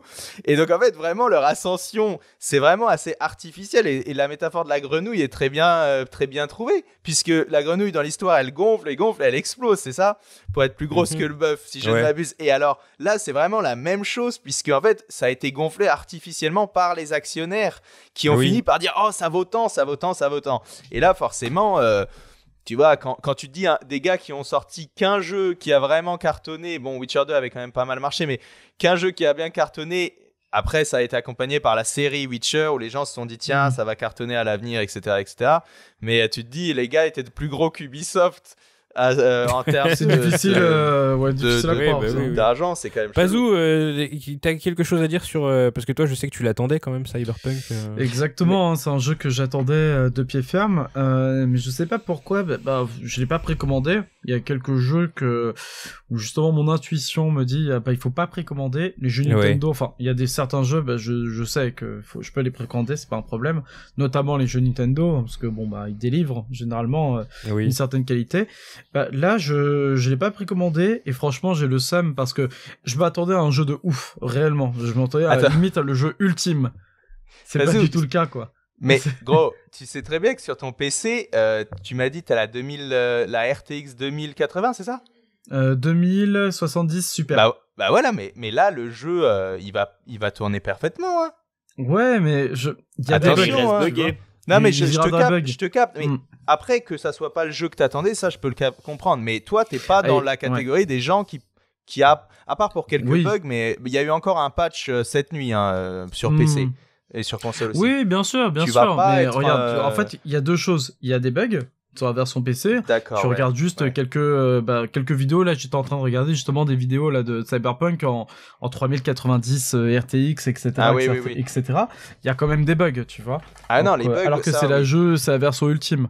Donc ça c'est déjà une première chose et c'est pas le jeu que lequel je m'attendais parce que moi je m'attendais vraiment à un RPG un, ah comment on appelle ça déjà un, peu à la Deus Ex tu vois. Ah ouais, immersive sim. Voilà immersive sim euh, un truc un, truc assez assez ouf tu vois. Ouais, bah, non en fait les gens ils disent ben non c'est un jeu un peu un peu plus narratif etc ah et comme euh, ça a très bien été dit par Guillaume et Ken bah, c'est un jeu qui a le cul entre deux chaises. C'est c'est pas hmm. assez RPG euh, pour les fans de RPG pas assez GTA pour les fans de, de GTA bah, c'est pas un immersive non plus. je suis un peu plus. Hein, c'est pas vraiment FPS bah euh, ouais, bah, il essaie de tout faire en même aussi... temps, ça c'est vrai. Hmm. Comment? Non, le jeu essaie de tout faire en même temps, je suis d'accord avec toi, ouais. Ouais, ça, ça c'est dommage, quoi, parce que même en tant que FPS, ça a l'air un peu nul, tu sais, aussi quand tu tires sur les trucs et tout. Euh, je sais pas, il n'y a, pas, y a, y a, pas de, y a pas de feeling, etc. Si, si, non, le feeling est bon. Non, le feeling, même sur ah ma config. Je pense qu'à la souris, ça doit être quand même cool. Bah oui, oui, oui, le feeling, le, le, feedback et le, comment on dit déjà, le game feel et tout, il est quand même bon. Après, est-ce que le level, est-ce que le gameplay, le level design est toujours à la hauteur? Il faut voir qu'en fait, mm. tous les moments où tu tires dans l'histoire, c'est toujours des moments assez, euh, où tu commences souvent en infiltration et ensuite tu arrives à, si tu te fais repérer, tu tires. En gros, c'est ça, pour l'instant. Comment? C'est un peu flingué l'infiltration. L'infiltration, bah après, il faut voir à quel point on va débloquer des pouvoirs, etc. Ah, franchement, je peux vraiment. Parce que là, pour l'instant, c'est juste des mecs qui se mettent euh, dos à toi et qui ouais, Mais t'as vu, il y a quand même, ils, ont aussi fait des trucs un peu. Ouais, mmh. faut voir. Moi, je, veux, veux vraiment pas me prononcer hein. avant d'avoir bien poncé euh, toutes les possibilités du gameplay mmh. et voir si euh, effectivement ça me convient. Après, ouais, c'est pas un immersive sim, euh, ça je suis d'accord. Ça je suis bah, d'accord. c'est il y a quelques aspects qu'on pourrait considérer immersive sim, mais autrement, c'est vraiment, on dit ça instancié, c'est ça? C'est genre t'arrives, mmh. il y a un scénario, et on va aller chercher ce truc, mec.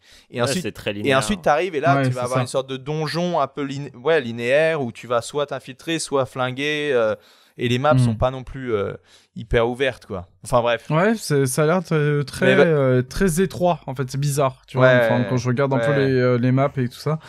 Mais mais ouais, c'est dommage parce que bah du coup, je voulais je voulais y jouer juste après Sekiro, bah en fait, je vais je vais attendre un an, hein, je pense hein. Je vais attendre un an bah, que tous les patchs vont sortir etc. et je vais y jouer hein. Ah, clairement. je pense qu'on peut, on peut se donner rendez-vous dans un an pour le podcast sur Cyberpunk. Ah oui, clairement, la, vraie, la définitive édition, je sais pas comment ils vont l'appeler. Bah, franchement, euh, du coup, euh, Théo, vas-y. Non, non, je, je, je, vais vous dire un truc, les gars. J'aurais tendance à dire peut-être que, effectivement, euh, pour les auditeurs également, peut-être les gars attendaient un peu parce que il y a des choses, tu vois, même moi là, à l'acte 2, bah ça y est, j'ai déjà vécu des scènes, machin, des trucs où je vous, le, je vous le dirai peut-être dans le futur, mais en gros, j'ai eu un bug visuel sur une scène qui était censée être très émotionnellement forte. Donc vous voyez ah. le, le, le, bug dans la Matrix, c'est complètement paradoxal en fait. Tu es mm. censé, là, devant un Naughty Dog, tu vas pleurer et tout est nickel et du coup, mm. il y a une telle perfection euh, visuelle dans un Naughty Dog que tu oublies quasiment que c'est un jeu et que tu es là, oh, c'est trop beau, ces personnages, c'est etc., etc. Là, j'étais censé euh, voilà, avoir une émotion, on va dire, pour pas spoiler, et mhm. un bug visuel vraiment drôle me casse le truc. Et rien que pour ça, mais vraiment, je vous raconterai euh, plus tard un, jour. Mais vraiment, rien que pour ça, je dis, les gars, peut-être ne vous ne pas non pas spoiler, mais ne vous gâchez pas en fait ce que le mhm. jeu va peut-être vous faire ressentir en y jouant peut-être en version buggée. C'est ce que je dirais, hein, franchement. Mais, mais il paraît que justement, dans les reviews, par contre, c'est ça qui est un peu dommage hein, et qui, qui fout un peu le somme. C'est que, apparemment, le jeu en lui-même, il est pas si mauvais que ça en fait, tu vois. Il y a des trucs intéressants. Non, non, non. Ah non, mais ce qu'on disait, ce qu'on disait avec Théo, c'est bah que vraiment, il y a des trucs qui sont vraiment réussis, quoi. Où, mm. ah, mais tu te dis, euh, putain, mais ça, ça a vraiment de la gueule. Euh, et honnêtement, même les phases un peu à la Remember Me, euh, ah oui, au Bradin like, ouais, franchement, je trouve ça cool et tout. Je trouve ça marche plutôt bien. J'ai trouvé ça pas mal aussi. Mais et non, honnêtement, après voilà, c'est vrai que j'avais oublié que finalement les, les FPS c'est pas ma, cam. Ouais. Mm. Donc euh, j'ai un peu de mal avec ça, mais. Mais, euh, hein. mais le, le, shoot pur, il y a quand même un bon feeling, je voulais dire. Et, et aussi, je voulais dire un truc euh, que, que, je trouve important c'est oui, on peut mettre beaucoup de choses aussi sur le dos de CD Projekt, faut aussi voir aussi qu'à mon avis, ils ont jamais, ils s'attendaient pas à ce buzz de, du grand n'importe quoi. Le buzz. Ah, ils l'ont quand même travaillé le buzz. non, non, ils l'ont accompagné. tout, ils l'ont accompagné de bonne Ils l'ont travaillé. Hein. Non, non, mais je suis d'accord avec toi. Mais tout le, le, jeu a pris une ampleur, à mon avis, qui, que c'est pas, c'est pas que eux qui ont participé, c'est aussi le public. Non, non, bien sûr. Mais ils ont surfé dessus aussi, c'est ça le problème. Bah mm. En même temps, ils allaient pas dire attention. Ça... Ils auraient pu dire attention les gars. Ça risque d'être un peu bugué. Non, mais ils auraient pu dire attention les gars, vous emballez pas. Hein. Parce que non, mais ça se trouve, ça se trouve dans le futur, on communiquera comme ça. Parce que les mecs se disent, eh, le buzz est trop grand par rapport à ce qu'on va proposer, qui est, ça reste un jeu un peu hybride PC, plutôt pensé PC effectivement.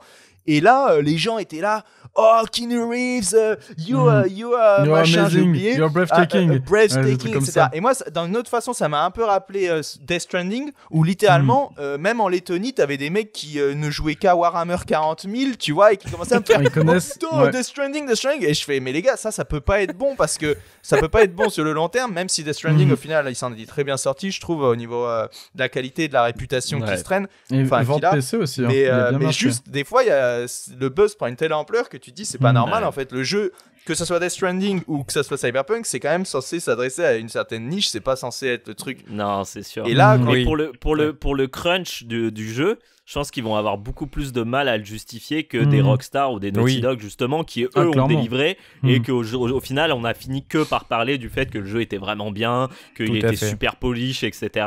Là où euh, en fait on est là genre mais en gros les gars ils ont bosser comme des chiens pendant des années. Et là, ils vont, ils vont encore bosser comme des chiens, encore des chiens parce que hein. le jeu est pas fini en fait. Bah c'est chaud, c'est chaud. Hein. Moi, quand je pense aux développeurs, je me dis c'est chaud hein, parce qu'imagine t'es es, là-bas, tu dois cruncher jusqu'à la date de sortie. Le jeu est sorti, tu dois encore cruncher pour faire des. Ah, c'est un truc de ouf. Ouais, laisse tomber. Oh.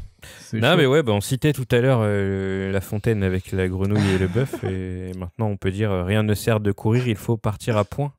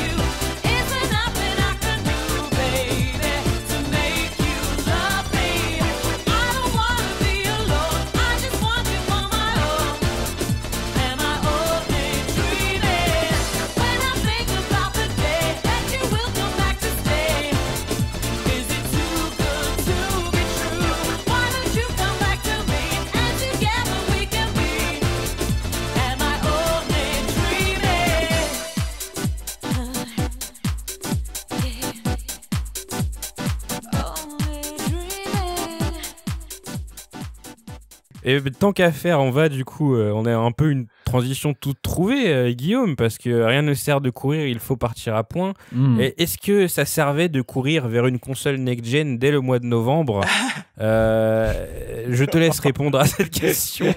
non, absolument pas. Non. Après, honnêtement comment dire, c'était pas non parce que bon, notamment la Xbox, je pense que tout le monde est au courant qu'il y a aucun jeu. Oui. mais il y a ce, il y a le, le bon next gen est quand même assez, il est déjà présent en fait. C'est juste que c'est un peu, pour moi, c'est un peu une Xbox One X2, mais genre un peu plus, euh, tu vois, parce que euh, euh, honnêtement, ce SSD, ça fait des miracles. Ouais le fait de jouer, euh, le fait de d'avoir, là j'ai 3-4 euh, jeux en quick resume et si je me mm. dis bah tiens je vais plutôt jouer à, à, Yakuza euh, mm. et arrêter un peu Cyberpunk, je sais que je vais relancer et que je vais me retrouver genre là où j'en étais au même moment, etc. Tu vois. Et honnêtement ça ça ça change le confort de jeu mais à un point mais c'est c'est assez dingue. Honnêtement, je c'était vraiment pas une, une feature qui m'intéressait plus que ça, où j'étais là, genre oui, bon, ok, très bien. Oui. Mais euh, euh, en, quand tu la pratiques, t'as vraiment ce, ce, ce côté euh, hyper. Enfin, c'est hyper agréable, quoi, mm. en fait. C'est, et, et, tout comme ça, tout est comme ça dans la, dans la console, en fait, où tout est fait pour que le confort de jeu soit au maximum, au maximum.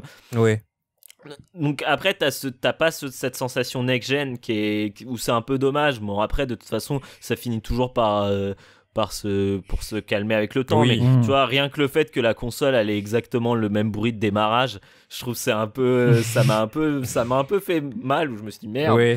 Euh, l'interface c'est la même, euh, la manette c'est la même, mmh. mais en fait, paraît qu'elle est un peu différente quand même. La manette? La manette, ouais. Bah les grips sont vraiment cool. T'as vraiment une, un, grip, un grip extraordinaire. Enfin, extraordinaire, un bon grip, quoi. Euh, et t'as un bouton cher, que moi, hmm. j'utilise jamais. Parce que je et la croix Oui, la croix directionnelle. les gens se sont plaints de la croix qui faisait du bruit. Ouais. Euh, moi j'aime bien, ça me dérange pas. Ok. Mais le fait qu'elle qu'il soit repassé sur une croix, euh, tu sais, un peu comme ce qu'il y avait sur la Elite. Hmm. Alors, c'est pas dérangeant. Je sais que les, les, les, les gens dans votre genre un peu un peu un peu geek euh, sont vachement préoccupés par les croix directionnelles. Honnêtement, moi, je m'en branle. Mais genre, vraiment, je l'utilise dans les menus. Quoi, ouais, exactement, c'est ça pour, pour aller dans les menus. écoute, ça, ça marche bien. Euh, je pas de. Je suis pas là à regarder le moins. Ah non, mais regarde là et tout. Euh. Comment on passe les cartes de cercle Ouais, c'est ça. On peut faire les cartes de cercle. c'est important, c'est important. Donc, non, en fait, c'est vraiment le, le, le, le côté next-gen, tu l'as pas dans ce que je dirais dans le côté fioriture euh, de euh, la nouvelle interface, mm. euh, des trucs. tu l'as pas là-dedans, c'est sûr que tu vas pas avoir les yeux. c'est mais tu l'as dans ce côté, dans les petits détails qui au final rend le truc tellement agréable quoi c'est mm. c'est surtout ce que je ce que j'irai chercher je pense au moment où je passerai à la, next gen c'est du confort et je pense que c'est vraiment pour le moment en tout cas une génération de confort mm. c'est que on était sur des consoles qui qui très tôt dans leur vie en fait euh, étaient euh, proposaient au-delà de ce qu'elles pouvaient vraiment proposer, je pense. Hmm. Tu vois, c'est que très tôt, les gens ont eu envie d'avoir du 4K, de 60 FPS. Maintenant, ils veulent même du 120, ils s'arrêtent jamais. Euh, et, et, c'est un truc que nos consoles d'avant, du coup, enfin encore actuelles pour moi et pour pas mal de gens, hmm. ne pouvaient pas proposer. Et je pense que ce qui est génial avec ces consoles, du coup, c'est que déjà, comme tu le dis, c'est énormément de confort. Et en plus, c'est que tu vas enfin pouvoir jouer à tes jeux euh, de la génération précédente euh, dans des conditions correctes, entre guillemets, mmh. limite de la façon dont ils ont été pensés, parce qu'enfin, il y a du hardware qui permet de les faire tourner ah, correctement. Bien sûr. Mm. Et puis dans, dans, un silence, mais genre c'est hallucinant. Honnêtement, c'est très important. parfois tu peux oublier la console. Euh, je sais pas, ça m'arrive parfois de lancer un jeu et puis de repartir sur euh, sur Netflix ou une connerie comme ça euh, avec l'Apple TV. Et donc après, j'oublie que la console je l'ai lancée. Mais, mais, c'est pas le bruit qui va te le rappeler. C'est pas la PS4 bah Pro, tu vois. et, et, et justement pour avoir vécu une année euh, bah, très Sony dans les jeux parce que il y avait mhm. Last of Us, parce qu'il y avait FF7, etc. Euh, j'en pouvais plus du bruit. La console, elle était dans une autre pièce, etc. Et, et, là, c'est vrai que tu avais mis un câble HDMI gigantesque, non, pour euh, qu'elle soit pas prête. Le bruit, bah, le bruit, la chaleur. J'en pouvais plus. C'était, c'était c'était j'avais vraiment je pouvais plus pas pas tu vois genre le, truc de, de se dire bon il fait il est un peu tard et tout je vais peut-être pas mettre le son trop fort oui c'était impossible avec cette console mm. parce que dans tous les cas t'étais obligé de mettre le son fort mm. parce que parce que la console sinon avec t'entendais pas t'entendais pas ce qui se mm. disait je vois totalement et, euh, et, là mais genre c'est tellement agréable, c'est hyper agréable. Puis honnêtement, moi, moi euh, ça c'est très personnel, mais je la trouve assez jolie, la, la Xbox Series X. Ouais, vraiment, euh, vraiment. Mm. Euh, j'ai pas hâte de voir la PS5 dans mon salon, mais honnêtement, celle-ci, elle est, elle est hyper. Tu vois, hier, j'avais, j'avais des amis chez moi. Euh, c'est quand on s'est mis à parler de la série X, il m'a dit ah oui c'est vrai elle est là putain je l'avais même pas vue parce que mm. elle est elle est assez discrète mine de rien si tu mm. la mets à côté de ta télé honnêtement personne ne verra c'est pas la PS5 Futuroscope quoi Ouais, non, c'est pas la, la, la, la, Dubai Tower. Euh, c'est clair. euh, Pazou, euh, je trouve que tu as un profil très très intéressant pour ce petit point next-gen pour plusieurs raisons. D'abord parce que euh, tu as été joueur Xbox 360 pendant 7 ans, 8 mmh. ans à peu près. Euh, après avoir été joueur PS2 pendant euh, pas mal d'années aussi. Et ensuite, sur la génération d'après, tu es repassé chez Sony, mmh. euh, du coup sur PS4. Et en fin de génération, tu as eu un espèce de, de ras-le-bol des consoles, j'ai l'impression, puisque tu t'es monté un PC. T'en es où, du coup, dans ta vie C'est un peu compliqué. Non, mais on va dire que du coup, là, c'est vrai que généralement, bah, comme le PC est plutôt euh, surpuissant, bah, du coup, je joue un peu plus sur PC. Mais tout dépend des jeux, tu vois. Enfin, comme Guillaume, euh, bah, The Last of Us 2 fait que bah, j'ai quand même besoin de ma PS4. Il y a plein de jeux qui font que j'ai besoin de ma PS4, etc. Et bah, après, pour tous ceux qui ont un peu multiplateforme, je vais plutôt privilégier le PC, un peu comme Théo, tu vois. Euh, pas parce que je veux en fait le jeu. Pas pour les mêmes raisons à mon avis. Comment? Peut-être pas pour les mêmes raisons. pour les mêmes raisons à mon avis.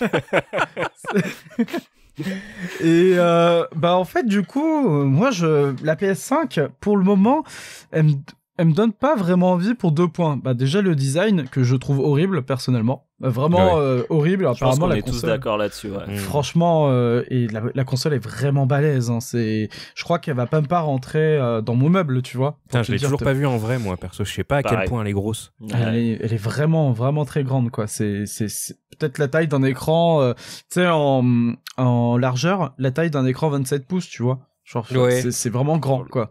C'est alors peut-être un peu moins, tu vois, mais quand même. Mais c'est vraiment super grand, plus grand qu'une PS4 euh, Pro que je trouve déjà très imposante.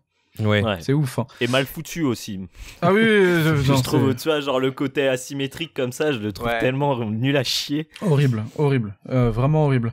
Du coup, je, si je prends la PS5 un jour, Enfin, si je prendrais la PS5 un jour, ça serait plutôt une version slim, hein, parce qu'il y en aura une forcément. Oui. On parle de Sony, hein. Une version slim. Pareil, ouais.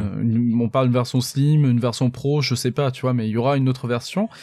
Et bah en fait, ce qui m'intéresse là, euh, dans l'immédiat, pas grand chose, tu vois, mais c'est vrai que dans à l'avenir, la série X m'intéresse euh, parce qu'il y a aussi un deuxième sujet que tu veux euh, que tu vas en parler hein, tout à l'heure. On peut, on peut l'imbriquer hein, en tant qu'affaire parce que bah. c'est un peu la même chose. Ouais, ouais c'est bah du coup en fait parce que bah j'ai un backlog de jeux Xbox qui me tarde de retrouver parce que bah il y a beaucoup de rétrocompatibilité rétrocompatibilité euh, si j'ai bien compris du coup sur la série X et puis en fait la console est beaucoup plus jolie euh, enfin la manette elle est pas mal etc et c'est vrai que ça me manque en fait hein, de jouer sur Xbox un peu parce que j'ai vraiment pas mal de jeux dessus et ça peut être ça peut être cool en fait tant que la PS5 n'a pas grand chose à proposer en termes d'exclus purs mhm. euh, bah du coup autant autant tester un peu la Xbox elle m'a l'air vraiment cool et surtout bah le gros gros avantage hein, c'est les Game Pass hein. enfin je pense qu'on en a déjà assez parlé hein, mais oui. tu prends ça euh, c'est bon j'ai mes jeux bah du coup sur la sur la console et en même temps sur le PC tu vois bah, bingo quoi enfin c'est bon c'est un truc que Guillaume voulait évoquer et du coup je te laisse en parler Guillaume mais le mm. Game Pass pour toi ça à juste titre euh, un, rôle très important dans cette transition en fait Bah en fait c'est parce que la next gen elle est pas prête. Tout, hmm. Tu le vois que les jeux sont pas prêts. Euh, on l'a encore vu là au Game Awards où au final on a que hmm. des trailers CGI ou sinon c'est des shooters euh, multi-pétés. pour l'instant c'est pas prêt. Donc hmm. en fait tu as ce truc de se dire bon j'achète une nouvelle console donc ce qui est un investissement en soi mais en fait j'ai pas besoin d'acheter de jeux à côté. Ouais. Parce qu'au mm. final, euh, bah, il y a des, il y a, voilà, il y a, y a, des petits jeux qui arrivent de temps en temps. Et pour le coup, Microsoft était encore moins prêt que, que Sony, j'ai l'impression, au niveau des jeux. Parce que là, pour l'instant, on, ne sait pas ce qui arrive, quoi. Il y a Medium qui arrive. Euh, Halo, c'est pas avant euh, automne 2021. Euh, donc, il y a vraiment, il y a, y a, au moins ce truc rassurant de dire, bon, au moins, j'ai un catalogue. Euh, tu vois, je veux dire, on a tous rêvé d'avoir ça quand quand étais plus jeune et que t'achetais une console. Euh, bah moi, moi, ça m'est arrivé plusieurs fois de rester sans jeu. Ouais, les CD de démo à l'époque. Ouais, voilà, c'est ça. Tu restes sans jeu. Moi, la euh, PS2, je suis resté sans jeu pendant un, ou deux mois. Ouais, euh, j'avais, j'avais les jeux PlayStation 1 donc la rétrocompatibilité, une fois de plus, elle joue son rôle dans, cette nouvelle génération parce que tu peux ressortir les nouveaux jeux et là et encore plus parce que il y a les améliorations du SSD, etc. Donc tu as ça qui, qui, rentre en jeu qui est quand même vachement agréable et, euh, et euh, tu as aussi bah, de trucs de découvrir. De... En fait, c'est pour ça que je te dis que c'est dans la continuité, ce que je disais que c'est un peu une, Xbox One X2, parce qu'en fait, t'as pas une grande, t'as pas un bouleversement euh, énorme, mais en même temps, euh, tu sais que bon bah voilà, t'es prêt pour la suite. Oui. et au final, t'es prêt pour Cyberpunk parce que si t'avais une, une autre console, t'étais un peu dans la merde. Ouais, c'est clair. Et, et, et, et, tu sais que bon, bah voilà, quand, quand ça arrive, et là pour l'instant, tu peux profiter d'un catalogue qui est quand même assez imposant. Et bon, bah, je sais pas pour vous, mais moi, il y a plein de jeux de, la génération passée que je n'ai pas fait. Oui, il y a encore. Je vais pouvoir, faire, et dans, pouvoir faire pardon, dans des conditions qui seront agréables. plus agréables. Qui seront au top, ouais, bien sûr, exactement. Mais c'est intéressant ce que tu dis avec le Game Pass et le fait de quand tu achètes une console, comme disait Théo, les CD de démo euh, que tu, que tu manges en boucle parce que es, enfin, les jeux, mine de rien, ça a un coût. Et c'est un truc que Sony a, aussi compris et il semble aussi être conscient de, de cette transition difficile qui en plus était compliquée par le Covid parce que. Euh, bah, même eux, ils ont proposé un truc avec le PlayStation Plus où tu hmm. peux avoir une sélection, je crois, de 15 jeux ou 20 jeux, je sais ah plus. Euh, les jeux indispensables, entre guillemets. Voilà, ouais. Et qui, pour le coup, c'est une sélection qui est très bonne. Et donc ouais, c'est tu sens vraiment que euh, enfin la console est sortie parce que sûrement des, des indispensables encore une fois, euh, je pense aussi qu'on n'y pense pas tout le temps mais tout ce qui est actionnaire et tout comme euh, en parlait tout à l'heure Théo, je pense que ça a une grosse valeur dans les décisions et que bah ça poussait peut-être un petit peu au cul pour sortir la suite parce que forcément ça, le niveau des achats, ça commençait à faire comme ça, je pense. Et je pense qu'il y a aussi le fait que, que ils étaient dans un jeu un peu de, de, de, de, duel avec Microsoft qui allait dégainer en premier. Donc c'est que tu peux pas te, tu peux pas te permettre euh, dans un dans un d'arriver avec 6 euh, mois de retard ou quelque chose comme ça bah, sur des consoles qui pour l'instant proposent pas grand chose de différent, tu vois. Sony l'avait fait à l'époque de la PS3 et euh, c'est fou comme au-delà du hardware de la console, ça a toujours été un petit peu compliqué à, à mm. rattraper. Théo, tu as quelque chose à dire sur tout ça? Non, non, j'allais dire exactement ce que tu as dit en fait. C'est vrai que sur PS3, ça, ça les avait vraiment, euh, ça leur avait pas, ça leur avait pas réussi. C'est comme ça qu'on dit? Oui. Et, euh, et, du coup, évidemment que Sony, ils vont, ils vont plus euh, se faire prendre à, à, sortir un an. C'était combien de temps à la PS3 C'était un an et demi plus tard. Un an, je crois, un an environ, ouais. Mm. Euh, c'était énorme. En, Europe, je crois que c'était début 2010, 2017, alors que la Xbox 3.6 euh, c'était. La 3.6 c'était fin 2005 et ah, ouais, je crois que la PS3 c'était fin 2006, un truc comme ouais, ça. aux USA, mais même en Europe, je crois que c'était début 2007, mais je suis plus sûr. Ouais, quel enfer. y a la Wii, la Wii fin 2006. Enfin bref, là on est parti sur une autre chose. Ouais, non, mais Microsoft avait un boulevard, ouais, exact, pendant un petit moment. Toi, Théo, du coup, euh, bah comment tu vis tout ça, toi? Parce que déjà, ta PS4, tu l'as un petit peu délaissé, non? Là, j'y ai quasiment pas touché cette année. Et pourtant, je sais que j'ai quelques jeux là que je veux, je veux finir et tout. Et euh, mon petit frère Adrien, il continue à acheter euh, des jeux sur le. Donc en théorie, je pourrais faire Ghost of Tsushima, Horizon et mmh. tout et tout. Mmh. Mais c'est vrai que j'ai un peu perdu pied avec les exclus euh, Sony et compagnie, tu vois, où je me dis, euh, à mon avis, c'est des bons jeux, mais à un moment donné, quand tu es un joueur euh, qui a son bagage après des hmm. années et tout, et qui a vraiment. En fait, et on en parlait, je crois, Ken récemment, on en avait parlé, toi et moi, mais où tu me disais. Ouais, t'as un peu un, trip aussi où tu rejoues à des anciens jeux ou quelque chose comme ça, c'est ça que tu oui. dit? Oui, et moi, c'est pareil. C'est genre comme si on commençait à, ça y est, consolider un peu nos, nos, goûts. Et, et moi, euh, ouais, ces derniers temps, j'ai vraiment été plus dans refaire peut-être des classiques, refinir des jeux que j'avais pas finis, mais que je considère importants dans ma vision de, de, des jeux vidéo que hmm. j'aime, etc., etc. Et du coup, euh, et du coup, c'est vrai que moi, tant qu'il y aura pas de Uncharted 6, euh, non, ouais, 5 du coup, et, on va dire, allez, quand même God of War 5 euh, euh, du coup. Ouais, 2. c'est compliqué là. Euh, ça, ça oui, compliqué. Mais, mais, tout ce qui est Horizon, Spider-Man et qu'est-ce qu'il y a d'autre un peu dans bah, ce Tsushima du coup. bah ouais, Tsushima c'est sur PS4. Non mais je voulais dire sur PS5. Si on parle de ah, PS5, hmm. ils vont pas me, ils vont pas me clickbait oui. avant. Ouais, acheter la console. Ouais. Hmm. Et encore. Puis surtout que une, PS5 en Lettonie, ça, ça, coûte une couille de loup là par rapport au, salaire moyen, non? Ouais, ah bah, par rapport au salaire moyen, ouais. non, ça serait compliqué, mais bon, tu sais que quand on est passionné, la passion, mes amis, on peut, on peut s'en sortir, mais non, non, oui, non, rien que pour ça aussi, c'est clair que c'est pas tout de suite, tout de suite. Et en plus, attends, parce que moi, pour le coup, c'est Alice qui réclamait, oh, il va y avoir Horizon 2, je le veux, euh, je veux la hmm. PS5 et tout et tout. Et en fait, il s'est avéré que ça sort même sur PS4. Alors là, ah c'est sûr que je prends pas ah de PS5 euh, pour, je vais lui mettre sur PS4 l'inférieure version et voilà, allez, tu te débrouilles. Hein. Donc euh, j'attends vraiment de voir parce que moi, vous savez, j'ai toujours été le Yankee quand même assez bien Yankee Sony. Ah, parfait, ça tombe à pic pour parler de ça. Vous hmm. savez que Keiichiro Toyoma, ah. une des premières vidéos euh, de, de, Théo le Fou, a été. Ils sont partis. Ils sont partis de chez Sony. J'ai pensé à toi, Théo. Eh ben je trouve ça ouf. Ça veut dire que c'était un des mecs les plus talentueux de chez Sony Japon. Donc après euh, Fumito Ueda qui est parti du coup euh, pendant le développement de Trico Last Guardian, hmm. maintenant c'est lui qui s'en va c'est un truc de malade parce que tu sais, c'est lui qui avait fait les Gravity Rush, euh, c'était lui qui avait fait Forbidden, Siren. et tout. Et voilà. Et du coup, moi, je me disais, ok, ça se trouve, c'est son exclu à lui de, de Studio Japan, je sais plus comment ils appellent ça, qui va réussir à me faire acheter une PS5. Mais lui, il est parti. Alors, mm. franchement, euh, pour moi, je vois une restructuration un peu de l'industrie qui fait que. Et puis voilà, on en parle. Les gars, moi, quand j'ai acheté la PS3, il y avait en, en grande partie, il y avait l'idée de jouer à Yakuza 3 et 4. Oui. Euh, vraiment, maintenant, Yakuza, c'est partout. Euh, un jeu Kojima, c'est partout. Mm. Euh, Persona, c'est partout. Donc, je dis pas de bêtises, Persona, il est sorti sur mm. PC aussi. Euh, ouais, PC, ouais, Le, le 5, je sais plus, il y a eu le 4 et le 4 sur PC, mais pas le 5. Quoi. Tu vois ce que je veux dire maintenant mm. Alors quoi Ça va être juste d'attendre des fois quelques mois, comme Nier Automata qui est sorti quelques mois après. Bah, d'ailleurs, Nier Automata est sorti Day One sur PC, etc.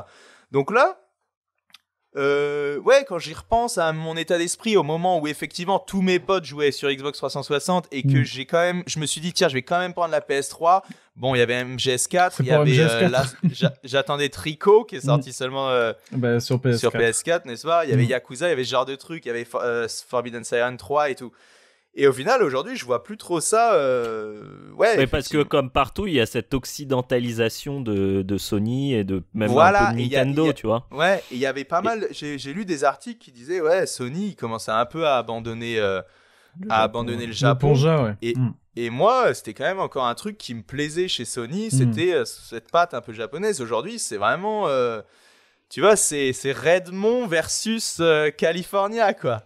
Tu vois ce que je veux dire? Microsoft, c'est vrai. Tu vois, c'est tout, tout c'est la côte ouest, quoi. C'est des mecs de, des studios de Californie qui, qui, qui mm. essaient de faire des meilleurs exclus que, euh, que Xbox. Qui Xbox, ils sont vers Seattle. Non, ils sont où, Xbox? Ils sont vers. Euh, ouais, c'est Seattle. Seattle, c'est hein, Seattle, c'est ça. Mm. Donc, je trouve ça marrant, en fait. On est... Et alors, après, bon, euh, c'est pas comme si le jeu japonais était mort, hein, c'est pas ça, mais juste que je trouve qu'on a perdu un peu ce truc où, où tu disais, bon, allez, je vais soutenir mes nippons. tu mm. vois mais euh, je sais plus, je sais plus ce que je disais du coup. Ouais, non, bah, à voir, hein. À voir pour Mais euh, Alors, euh, je, suis désolé, je suis en train de faire deux trucs en même temps parce que du coup, je remets ma caméra. Vous avez comme d'habitude le behind the scene en même temps. et du coup, Théo, tu, parlais tout à l'heure d'un point intéressant et que du coup, ça va nous faire un, pont tout trouvé. Tu parlais du fait de vouloir, entre guillemets, compléter ton backlog et faire ah des jeux que tu as ratés dans ton expérience de joueur et tout. Et, et on reste au final dans une philosophie qui est qui est très actuel, comme tu le disais. Hein, je pense qu'on est plusieurs dans ce cas de figure. Moi, par exemple, euh, enfin, je j'attends, je, je, rêve du moment où je vais jouer à God End. Tu vois, genre. Euh, ah oui. J'attends de ouf. Euh, franchement, c'est limite mon attente 2021. C'est de trouver le moment de jouer à God End parce que toi et Pazou m'avaient chauffé sur le jeu. Il y a plein de gens qui m'ont chauffé. Mais, mais t'as trouvé le jeu finalement? Bah non, mais je vais y jouer sur PC avec euh, ah, PCSX2 machin mm. là, tu vois. Oh nice, mais, mais euh, justement, euh, enfin moi j'avais un peu putain merde, attendez, j'ai pas lancé ma caméra depuis tout à l'heure, je parle et du coup les gens ne me verront pas. Bon, c'est pas grave. c'est pas grave. Ils m'entendent, c'est le principal. Voilà, c'est bon, j'ai relancé la caméra. Et du coup, ouais, enfin justement, l'émulation moi sur PC, ça me fatigue un peu. Mm. Ouais.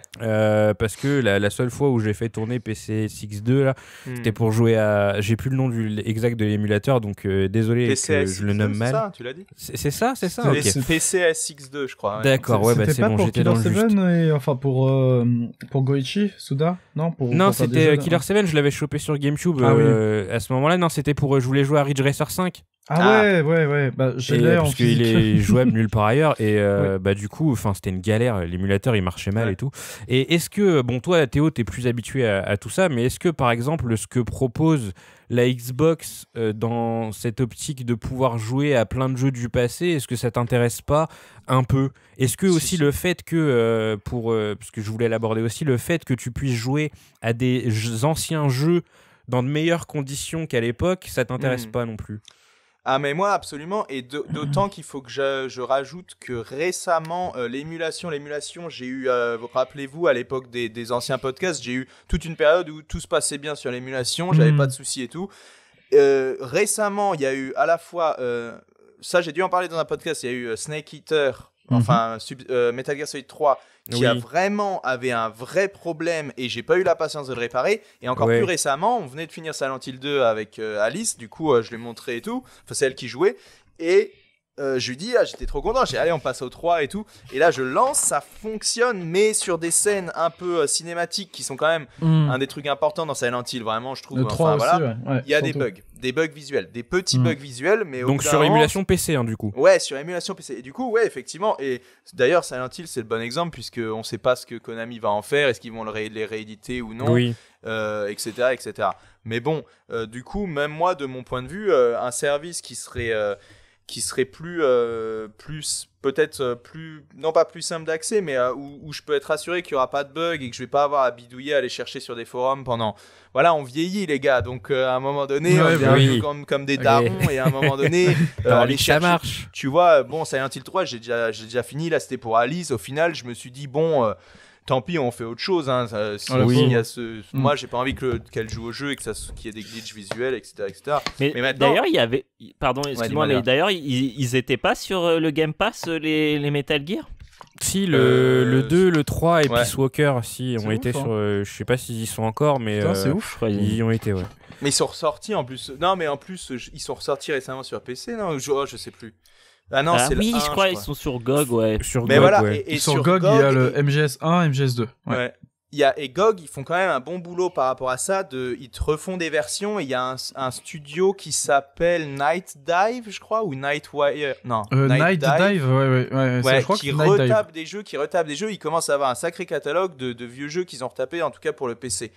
Mais c'est clair que. Euh, moi, j'ai toujours, et c'est pour ça que j'ai eu beaucoup de mal à garder un abonnement sur des plateformes comme Netflix, par exemple, puisque au moment où j'ai compris que euh, oui, il y avait un catalogue quand même qui tournait, qu'ils enlevaient des films, et qu'en fait, euh, qu'en fait, tu peux pas vraiment regarder ce que tu as envie au moment donné, mm. au moment X, tu vois, au moment T, pardon.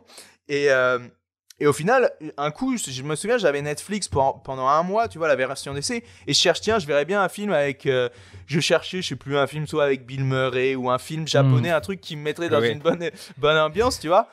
Et je trouvais rien, et je fais putain, mais ah non, même, non, je cherchais, non, je cherchais un Hitchcock. Je me suis dit, tiens, ils ont bien un film de Hitchcock. Oui. Il y avait pas. Et du coup, je dis, mais non, ça, c'est pas pour moi. Moi, j'ai envie de pouvoir jouer à ce que je veux quand je veux.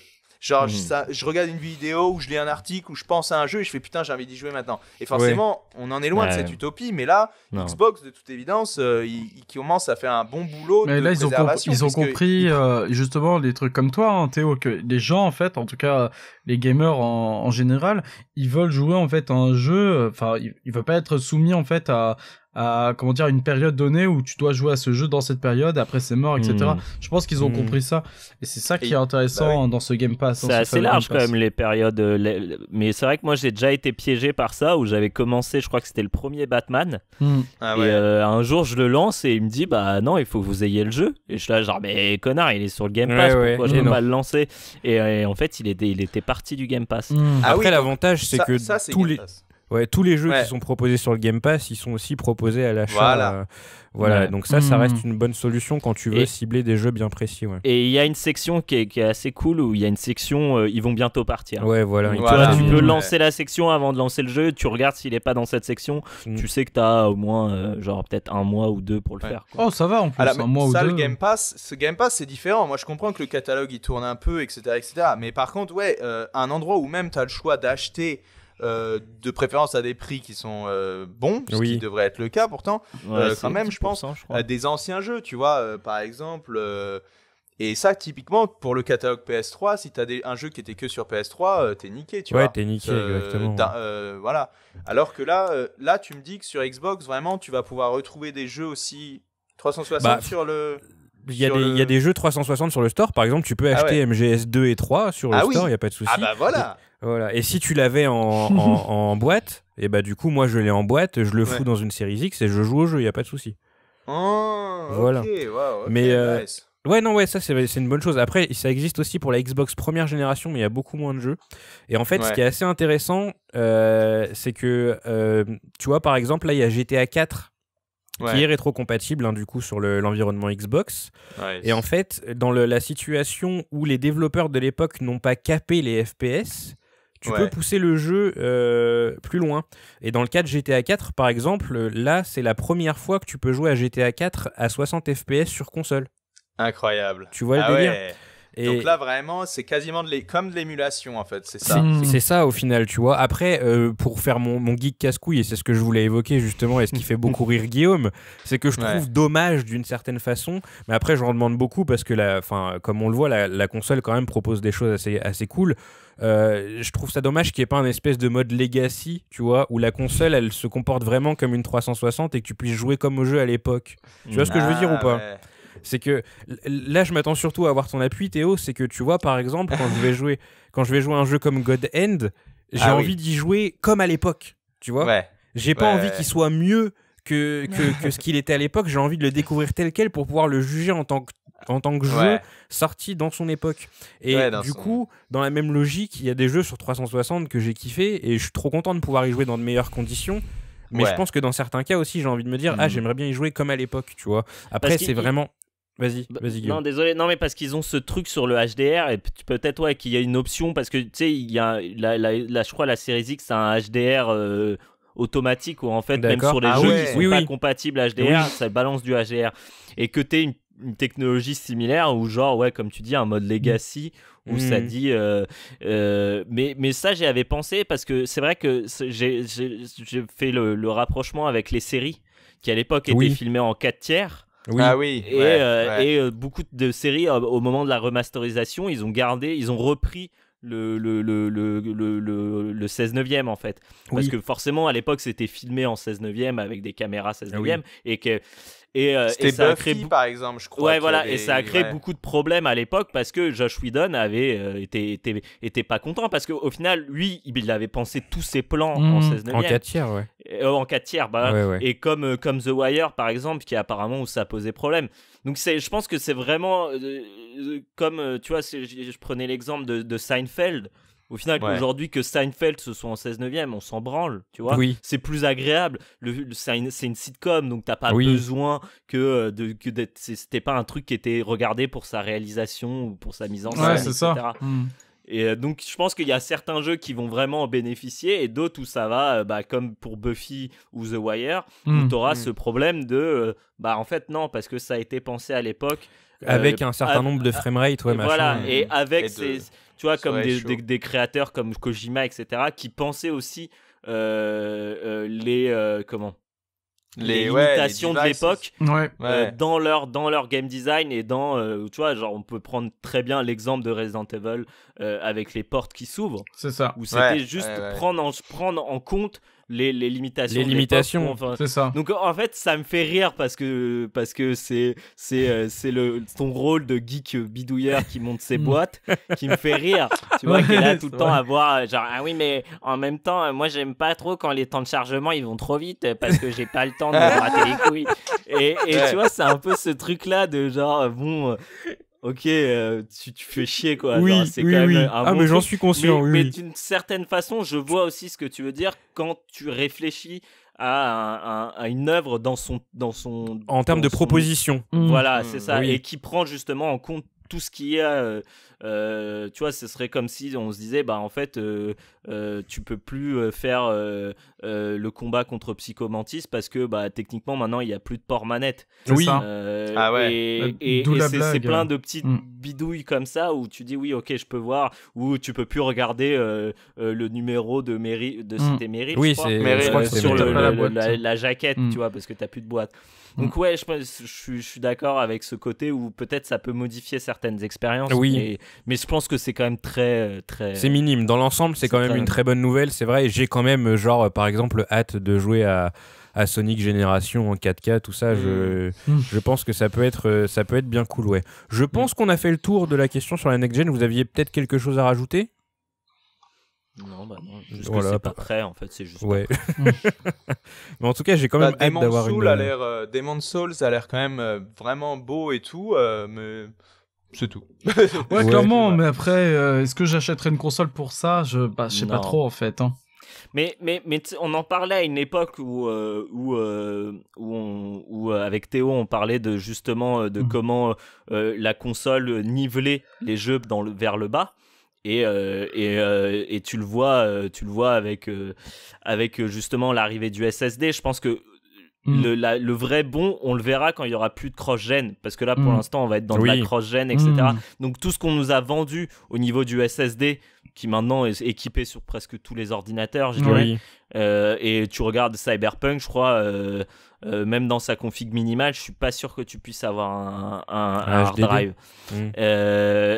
Et, je pense que ça, par exemple, ce genre de, d'évolution en termes de game design que peut apporter le SSD, notamment sur les temps de chargement, les, les, les, panoramas, etc. Et le fait de, de, de toujours, bah, tu vois, tu prends l'exemple de God of War, où, mm. bah, tu dois passer euh, sur, euh, entre, deux, entre deux rochers euh, pour laisser le, jeu, le temps au jeu de se charger.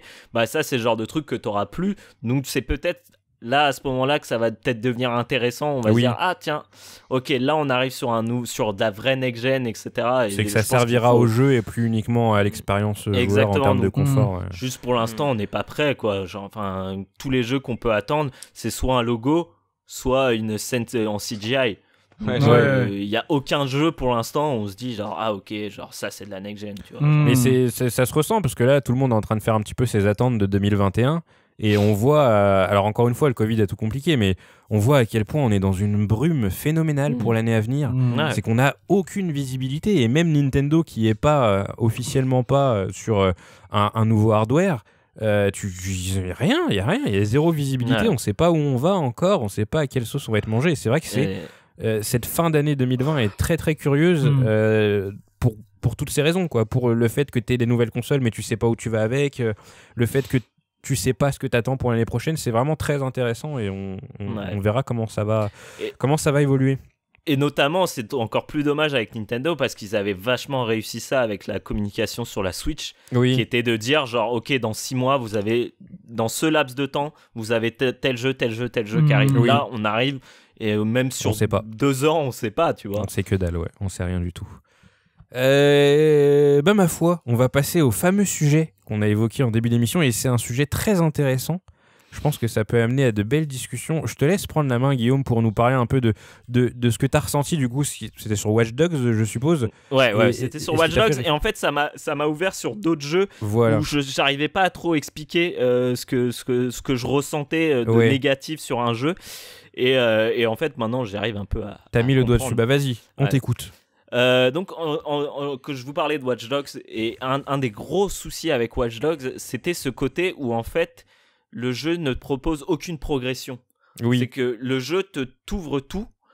Et, et, si on doit le prendre euh, en exemple, par exemple euh, GTA, les premiers GTA, enfin GTA 3, GTA Vice City, etc. Il y avait toujours un, vraiment un gros, un gros truc de progression euh, et alors que l'époque, à l'époque, il n'y avait même pas de, d'aspect RPG dans le jeu, tu vois. Mais mm. tu avais déjà ce truc où l'île était fragmentée, euh, pas, enfin, il y avait plein de trucs que tu, tu découvrais toujours des, des petits trucs cachés, des voitures spéciales, etc. Et là, en fait, dans ce jeu, mais tout est, mais tout est donné en fait. Tout est, tu c'est vraiment, tu as l'impression que le, les, les, les, développeurs ont tellement peur que tu, tu ne t'amuses pas dans le jeu qu'ils sont là genre non non mais attends regarde tu peux faire ça tu peux faire ça et tout. Tiens tu veux un drone mais prends le drone vas-y pas de soucis. au lieu de, au, lieu de t'amener un, sur une enfin sur une, une, évolution euh, graduée tu vois ou et, et ça m'a fait penser par exemple à, à, Forza et je me ça fait longtemps que je pense à Forza et je me dis mais pourquoi je m'amuse plus sur un c'est un excellent exemple euh, Guillaume. C'est vraiment un bon exemple parce que je le partage aussi ouais c'est pourquoi, pourquoi, pourquoi? En fait, genre, c'est les jeux sont de mieux en mieux. Oui. sont censés être de plus en plus réalistes, plus en plus beaux, avec des maps énormes, etc. Mais pourquoi je m'amuse plus? Qu'est-ce qui, qu'est-ce qui fait? On, peut s'attarder un petit peu du coup sur, euh, sur Forza, parce qu'en fait, euh, j'ai le même problème que toi et en fait j'ai jamais réussi à mettre le doigt dessus, je te jure, je savais pas et au moment où tu l'as dit, je me suis dit putain mais en fait c'est ça. Et en fait je pense que tu as la même logique que moi, c'est que, et ça va sûrement aussi parler du coup à Pazou et à Théo, c'est qu'à l'époque quand tu jouais par exemple à Gran Turismo, tu commençais avec les, les, petites bagnoles de ville, tu vois. Mmh. Tu mmh. commençais avec les Clio machin et tout et moi j'ai souvenir de de Metroid, euh, Metroid, Metropolis Street Racer MSR sur Dreamcast où la dernière voiture que tu débloquais dans le jeu c'était une Skyline Aujourd'hui, une Skyline, c'est la voiture que tu as vraiment tout le temps au début. Départ, ouais, ça, et donc, tout le long, tu étais là à débloquer des voitures de plus en plus rapides, des Mercedes SLK, hein. machin, voilà. Et tu te disais, au bout du compte, je vais réussir à avoir ma Skyline, tu vois. Et c'était ton objectif, tu étais trop content. Project Gotham Racing sort le premier, et là, ils ont repoussé un petit peu le truc. Tu recommençais toujours de très bas, mais tu pouvais monter jusqu'à une Ferrari F50. Et même logique, tu vois, tu repasses par la Skyline, tout ça, machin, euh, Toyota Supra, tu mm. continues à monter et tout, avec cet objectif en tête. Et c'est vrai que quand j'ai joué à Forza Horizon 2, euh, il y avait aussi du coup ça dans Gran Turismo parce que t'as les séries et tout machin, euh, comme on ah, disait. Encore pire parce que dans, dans, dans, dans Gran Turismo, t'avais ce truc où avais, au début t'avais une voiture d'occasion. Oui. C'était même pas, c'était même pas une. c'était un truc qui était généré aléatoirement. C'est que ça veut mm. dire que tu pouvais très bien commencer avec la pire des merdes parce que tu t'avais pas eu de chance euh, dans, dans, le, dans, le, dans le début et qu'ils t'avaient filé, genre, je sais pas, une Clio ou un truc comme ça. Et tu fais avec. après, tu l'améliorais, tu t'améliores le, le, moteur, etc. Mm. Tu, tu rajoutes des petits trucs et tu finis par l'aimer parce que c'est ta petite voiture quand même. Et puis au fur et à mesure, tu dis ah quand même, je commence à un peu avoir de thunes, je vais m'acheter peut-être un truc euh, mm. un peu au-dessus, etc. Et et au final, bah ça c'est un truc qui a complètement disparu. Mais c'est ça. Euh, je sais pas si tu veux l'aborder ou si tu veux que je le fasse, mais il y a, y, a, y a, un truc pour moi qui a tout gâché dans, dans, dans Forza. Qui, au début, je pensais que c'était cool. Parce qu'il y a ce truc hyper, euh, hyper excitant, euh, c'est euh, la roulette. Ouais. où tu, tu, tu, tournes la roue et puis tu gagnes une, une voiture ou de l'argent ou je ne sais quoi. Et, et en fait, au début, c'était ce qui pouvait être pensé comme une bonne idée. Et en fait, ça a tué Forza. Dans ma tête, ça a tué Forza. Parce que c'est le truc où tu commences, tu as une voiture qui est déjà plutôt pas mal et puis en fait, bah euh, tu, tu, fais trois courses, tu débloques une roue, et hop, tu, euh, hop, tu as la, as la Bugatti Veyron. Bah en fait, très tôt dans ton jeu, t'as plus d'objectif, tu vois. Ouais. C'est que tu, tu, miroites quelque chose dans les autres, et là, en fait, mais je pense euh, que, que, que peut-être, encore une fois, Internet a déformé le game design des jeux, et qu'aujourd'hui, quand un streamer il lance son Forza Horizon, il faut directement qu'il s'amuse dessus, tu vois. bah donc je pense que c'est ça, mais le truc c'est que toute cette étape de frustration par laquelle on passait avant et qu'on passe de moins en moins euh, avec le temps, c'est vrai que c'est quelque chose qui manque énormément euh, parce que, mais je pense que vraiment le, meilleur exemple c'est les jeux de voiture parce que tu as cette contrainte, etc. Et, petit à petit ça évolue. Mais en fait, ce qui m'a étonné dans, ton, dans, dans, dans ta proposition, Guillaume, c'est que j'avais pourtant l'impression, moi de mon côté, que dans les jeux Ubisoft c'était l'inverse. C'est qu'en fait on te blindait de trucs à débloquer à chaque niveau parce que maintenant tous les jeux sont pensés en comme des RPG à chaque niveau tu débloques plein de trucs et tu as des armures rares et, des armures euh, encore plus rares et machin. Et en fait du coup sur le coup quand tu m'as dit ça je me suis dit mais je comprends pas parce que les jeux Ubisoft tu débloques énormément de trucs dedans mais je pense que justement c'est ça qui m'a marqué en fait. C'est le fait de jouer à un jeu Ubisoft et de pas avoir ce truc là et d'avoir d'être vraiment dans un truc où en fait le, le et ça revient encore sur le problème d'avoir ces, euh, ces euh, personnages random que tu peux avoir à tout moment.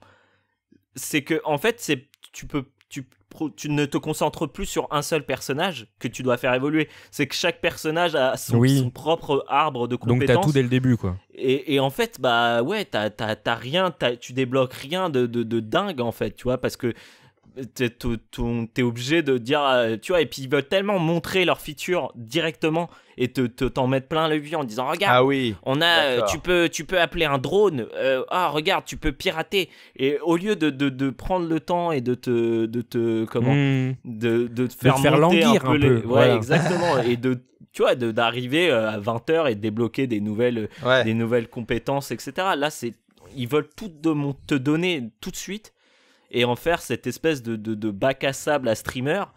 Et c'est hyper, enfin c'est hyper décevant au final, tu vois. Mais tu dis streamer, tu dis streamer et euh, mais aussi de de, de de, de jeux à catalogue aussi, parce que quand on est sur un sur un service de catalogue, il faut quand même se dire, c'est pas un investissement financier de la part du joueur. Oui, c'est vrai. Euh, pour capter son attention, faut qu'il le lance, faut qu'il soit hmm. directement dedans, n'est-ce pas? C'est pas faux. Sauf que, Sauf qu'en réalité, euh, Ouais, c'est ça. C'est, je regardais, ça tombe bien, c'est marrant comme sujet parce que justement, je regardais une vidéo euh, hmm. YouTube euh, un peu plus tôt dans la journée d'un gars qui parlait de Daggerfall, donc le Elder Scrolls 2, donc qui maintenant est très vieux et difficile à jouer. et lui, justement, il disait non, c'est pas du fun immédiat, mais par contre, si tu fais preuve entre guillemets d'abnégation et tout, comme on dit, je crois, hmm. tu finis par t'amuser euh, mais, mais voilà, mais ça demande un investissement, tu vois. Hmm. Et là, c'est un truc que, effectivement, euh, en vieillissant, entre guillemets, je, je, commence à être de plus en plus d'accord parce que je me rends compte que plus tu t'investis dans le jeu, dans un jeu, plus tu risques euh, d'avoir du fun en retour. Hmm. Oui. un fun bizarre, hein, c'est de la psychologie de, humaine, c'est bizarre, tu vois, c'est peut-être pas pour tout le monde. Alors que, effectivement, peut-être qu'un jeu où, où t'as pas besoin tellement de tu vois, de te plonger dedans, etc. Est-ce que au final, t'en retires le même plaisir? Je suis pas sûr, tu vois. C'est ouais, euh, c'est toujours compliqué d'être coincé dans un prisme parce que mine de rien, on est quand même des gens qui jouent aux jeux vidéo depuis pas mal d'années. On parle avec des gens qui mmh. jouent aux jeux vidéo depuis pas mal d'années et, mmh. euh, et ce qui, est, ce qui est assez marrant, c'est qu'au final, je, la personne. Euh, alors peut-être que Guillaume, toi aussi, avec ton neveu, tu as peut-être un peu un retour d'expérience comme ça, mais pas où surtout. Pas où et ses amis qui ne jouent qu'à FIFA. Est-ce que tu penses que vraiment le fait d'enlever toute frustration dans le jeu vidéo, c'est la solution pour. Euh, pour, pour, euh, fournir du plaisir aux nouveaux joueurs, entre guillemets Franchement, euh, c'est une très bonne question. Euh, parce que moi, de mon côté, tu vois, enfin, bah, justement, quand tu parles de, de FIFA, bah, c'est, tu lances une partie, tu as le fun immédiat, tu vois. Enfin, oui, c'est vrai que t'as rien à débloquer à part FUT, quoi. C'est ça, tu vois. Et encore, ceux qui jouent à FUT, enfin, en tout cas, les potes qui jouent à FUT, ils jouent plus parce que, bah, c'est trop, en fait, tu vois. c'est beaucoup trop. Et le truc, c'est que c'est vrai que c'est compliqué parce que, tu l'as bien dit, nous, on, parle à des gens bah, qui jouent aux jeux vidéo depuis depuis euh, depuis des années. Pareil pour nous. Exemple concret, je sais pas depuis enfin je j'arrive pas à me rappeler bah, quand j'ai joué à un jeu vidéo et quand j'ai appris que bah, il fallait en fait euh, dans Mario sauter sur les ennemis aller sur la droite tu vois euh, le bouton A ou B de ta console enfin de ta manette c'est pour sauter etc enfin je, je sais pas, tu vois, c'est intuitif, tu vois, euh, chez nous maintenant. Mmh. Donc, ah franchement, c'est un débat qui est, c'est une question qui est très difficile pour moi. Je, je, il faudrait que je me replace dans le contexte où je ne sais pas du tout, en fait, euh, enfin, je, je n'ai jamais touché à un jeu vidéo et comment je vais faire pour m'amuser, tu vois. Mais est-ce que tu mm. penses, par exemple, que euh, on parlait de Sekiro tout à l'heure mm-hmm. et, comme on l'a dit, euh, il y a des trucs à débloquer dans Sekiro, mm. mais c'est euh, entre guillemets accessoire.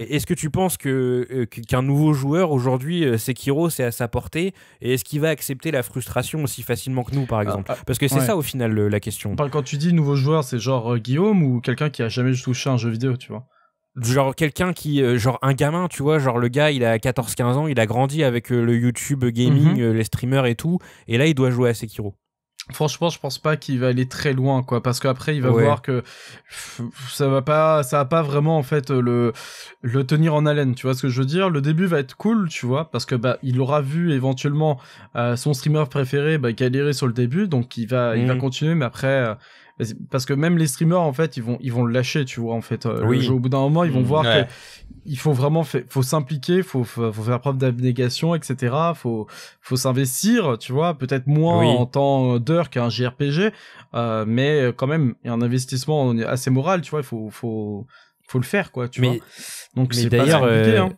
Ouais, c'est tendu. En fait, le vrai truc, je pense qu'il faudrait mettre en place un, le, le, système de compagne, tu vois. Le compagne euh, Merigezu, comme on dit. Il faudrait mettre, euh, bah, du coup, ta compagne qui ne joue pas aux jeux vidéo devant le truc, et là, tu, tu, fais des expériences. Non, mais en vrai, c'est ça, tu prends un peu. Le problème, c'est que, dans le cas de la mine, elle joue depuis pas mal d'années. Bah, maintenant, oui. un Ken, c'est ultra misogyne de faire ça. Non, pas forcément, parce que tu peux aussi faire ça avec, euh, si un mec qui joue pas. à, à une, une expérience de Ken qui va. ah. sur... Non, mais ah, ton truc sur Topito. Je, je, vois, je vois, je ah vois de quoi tu parles en effet, parce ah que c'est vrai qu'en fait, ce que Pazou raconte, je l'ai fait moi aussi. Je, je, l'ai fait, j'ai tenu un espèce de journal de bord où, euh, quand ma femme a commencé à jouer, bah, je, notais, en fait, tu vois, littéralement, euh, machin et tout. et, c'est vrai qu'à l'époque, un peu maladroitement, j'ai euh, proposé mes, mes, résultats. Et c'est vrai que j'ai eu tendance à dire tout le temps, oui, ta meuf, ta meuf, ta meuf, et j'ai pas pensé, ou si ton gars il joue pas, ou ce genre de choses, et ça mmh. m'a été reproché. et même si ça a été fait de façon très véhémente, c'était malgré tout justifié. Donc, mmh. je, je, vois totalement de quoi tu parles, Guillaume.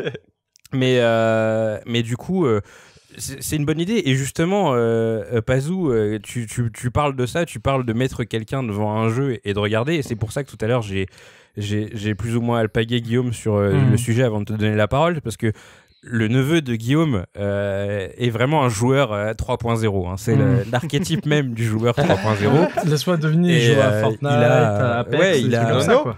Exactement, ouais. Nono ah, qui passe de temps en temps sur les streams. et d'ailleurs, Vas-y, c'est marrant parce que c'est marrant que t'en parles parce que c'est un truc aussi que je voulais rajouter dans le, le mm. point next gen, c'est qu'en final ces consoles le fait qu'il n'y ait pas beaucoup de jeux dessus, ça change pas grand chose parce que la plupart des joueurs aujourd'hui ils jouent à des jeux services. Ouais. Donc en ah fait, pour eux, c'est pas. Enfin, ils s'en foutent, tu vois. Genre, moi, mon neveu, il va jouer à. Ouais, il va jouer à Fortnite, il va jouer à mm. Rainbow Six. Mais genre, en fait, il va jouer au même jeu, mais juste il sera sur PS5. Oui, oui, oui, bah oui, totalement. Hein, totalement. Mais je pense qu'il y a beaucoup de gens qui ont acheté des consoles next-gen et qui ont retéléchargé euh, leur jeu service. Mais, je pensais à lui parce qu'en en fait, quand il est passé sur euh, le stream Eurogazo il y a pas longtemps, il m'a dit qu'il jouait à Sekiro.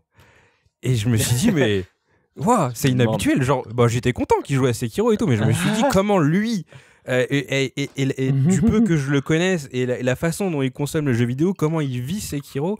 Et je pense que c'est cool d'avoir un, proche comme ça qui, où tu peux voir justement où s'arrête sa frustration. Hmm. Euh, et, mine de rien, encore une fois, ce que Parvez disait, c'était pas bête parce que euh, bah, voilà, ma compagne, elle a commencé à jouer aux jeux vidéo en 2000. Enfin, vraiment y jouer, hein, je parle, parce qu'elle avait hmm, déjà joué à des jeux avant, mais elle a vraiment commencé à jouer aux jeux en 2013 et du coup, elle a joué à des jeux de 2013 et euh, des années suivantes mhm. majoritairement, même si elle a joué à des jeux un petit peu plus anciens. Et c'est vrai que du coup, naturellement, je vois déjà que sa frustration s'arrête plutôt que la mienne mhm. parce que j'ai été mise à l'épreuve parce que dans les jeux vidéo j'ai appris euh, ah. à, devoir attendre, tu vois, à euh, attendre. Ça, tu dois prendre le temps de débloquer les choses, tu dois mm. parfois recommencer le jeu plusieurs fois pour avoir des bonus, etc. etc. Et, c'est un truc que ça, elle, veut pas en entendre parler parce qu'elle a déjà connu un jeu vidéo qui avait muté à ce moment-là. Et donc mm. forcément, euh, c'est déjà compliqué pour elle. Alors j'imagine encore plus pour les gamins qui vraiment découvrent le jeu vidéo aujourd'hui depuis 3-4 ans, qui a encore vachement évolué. quoi. Ah non, c'est sûr. Et puis, en fait, c'est pour revenir à ce que disait Par Parvez et de le mm. réadapter à ce qu'était Gran Turismo à l'époque, c'est que en fait, le jeu voulait pas. C'était un peu de ce, quand, quand, tu viens de passer le permis, bah t'as une Clio, t'as pas, on te file pas une Ferrari, tu vois. Et c'était un peu ça. C'était un peu le jeu, une façon pour le jeu de te prendre par la main et de mm. te dire non, non, attends. Euh, tu vas apprendre à conduire avant de, de, mm. de, prendre, euh, de prendre un truc de. Et, et, et ça me rappelle une frustration que j'avais sur, je crois que c'était le premier Forza Motorsport, où il y avait une course que j'arrivais pas à faire parce que en fait, je tombais sur. Euh, c'était une course de, de, de, de, Comment dire De voiture de, enfin de, de légende. Mm. Oui. Et, et en fait, pour, pour, quand tu finissais le jeu, enfin, quand tu finissais ce, Grand Prix-là, tu gagnais la Ferrari P1, qui est une des voitures les plus iconiques qui existent. Hmm. Ouais. Et sauf que la voiture la plus puissante dans cette catégorie-là, c'était la Ferrari P1. Et donc le premier, euh, enfin ton adversaire, un de, tes un de tes principaux adversaires, avait une P1, donc il te mettait la main. Oui, bah oui. Et en fait, c'était vraiment le truc de dire non, non, attends. Euh, je vais y arriver avec ma voiture. Tu vas y arriver avec ce qu'on te donne. Et, tu vas tu vas pas et aujourd'hui ça n'arriverait pas parce qu'aujourd'hui en fait le jeu déjà le jeu, déjà un jeu comme Forza aujourd'hui il veut plus te forcer à prendre quoi que ce soit comme voiture. Oui. C'est genre tu prends ah telle, telle, course. J'avoue, ça c'est bizarre. Hein. Tu veux le faire avec ton 4x4, bah on va te foutre des 4x4, mais c'est pas euh, tu vois, il y a pas il y a plus de catégories de genre là non, ça c'est pour les pour les prototypes, non, ça c'est pour les hypercars, ça c'est pour les, les, petites voitures etc. Le, le jeu ne veut plus te forcer à, comme, comme le fait euh, certains roguelikes très bien, c'est-à-dire te forcer à utiliser autre chose que euh, ce que tu utiliserais en temps normal. Aujourd'hui, le jeu arrive, te dit tiens, regarde, euh, t'as as joué un peu, tu sais, tu sais à peu près accélérer et freiner. De toute façon, t'as tellement d'aide qu'il il n'y a aucun problème avec, avec ça. tiens, prends une Bugatti Veyron et va t'amuser en fait. Hmm. Et c'est en fait, c'est. Enfin, t'as as plus ce, ce, ce, ouais, t'as plus ce jeu qui te, qui te met des limites en fait, comme tu mettrais à un enfant, tu vois, en lui disant non, non, mais là, attends, euh, joue avec ce que t'as et après on verra. Et, et, et, pour revenir un peu avec, euh, avec, à mon neveu Nono, j'ai un peu cette sensation là aussi euh, par rapport au jeu, à la façon dont il achète les jeux. C'est que tu vois, il ne finit pas et c'est genre mm. et personne n'est là pour dire attends, tu l'as fini ce jeu là avant de te racheter un autre jeu, tu vois? Et là c'est un peu ça, c'est un peu ce truc de genre bah en fait euh, genre joue avec ta, ta, voiture ou avec euh, tel, tel aspect de, de, ton personnage et après hein, tu vas débloquer des trucs, ça va mmh. venir. Il faut il faut t'investir et il n'y a plus aucune sensation d'investissement dans les jeux en fait. Ouais. Théo, t'as déjà eu ce sentiment toi? Ouais, ouais, alors j'ai pas mal de trucs que ça m'évoque, mais justement, euh, il y a aussi ce truc, par exemple, de nos jours, souvent quand tu lances un jeu, ça va être, imaginons un open world, etc., tu vas tout prendre dans la gueule dès le début. Oui. Et du coup, tu vas te dire, waouh, c'est trop bien et tout, euh, c'est grand, il y a énormément de choses. Tu vas, toutes les features, tu vas les découvrir durant les premières 10 euh, premières heures, par hmm. exemple. Et ensuite, euh, et ensuite, le reste du temps, la plupart du temps, tu vas refaire ce que tu as fait les 10 premières heures avec une histoire qui évolue hmm. vaguement, etc., etc.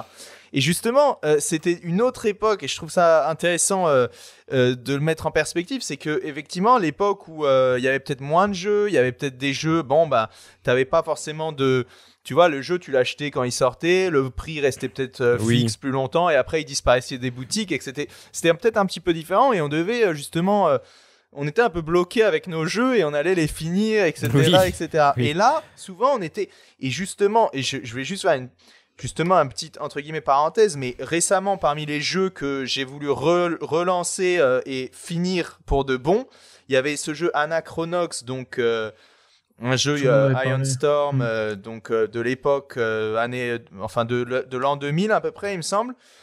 Et ce jeu, il est hallucinant parce que évidemment, j'avais fait un peu à l'époque euh, enfin, pas à l'époque, justement. Je l'avais fait un petit peu à une période où déjà on arrivait vers le début du monde ouvert, etc. Et du coup, je m'étais dit, bon, c'est relou, c'est relou. Mais maintenant que j'arrive à me mettre dans la mentalité du joueur de l'époque, euh, vraiment, où je me dis, je, vais finir ce jeu. Tant que j'ai pas fini le jeu, tout ce que je fais dans là, ça sert à rien, en fait. Pour moi, j'ai envie hmm. de voir l'expérience globale et avoir un point de vue global. C'est ça un peu ma mon nouvel état d'esprit que j'ai eu depuis quelques temps.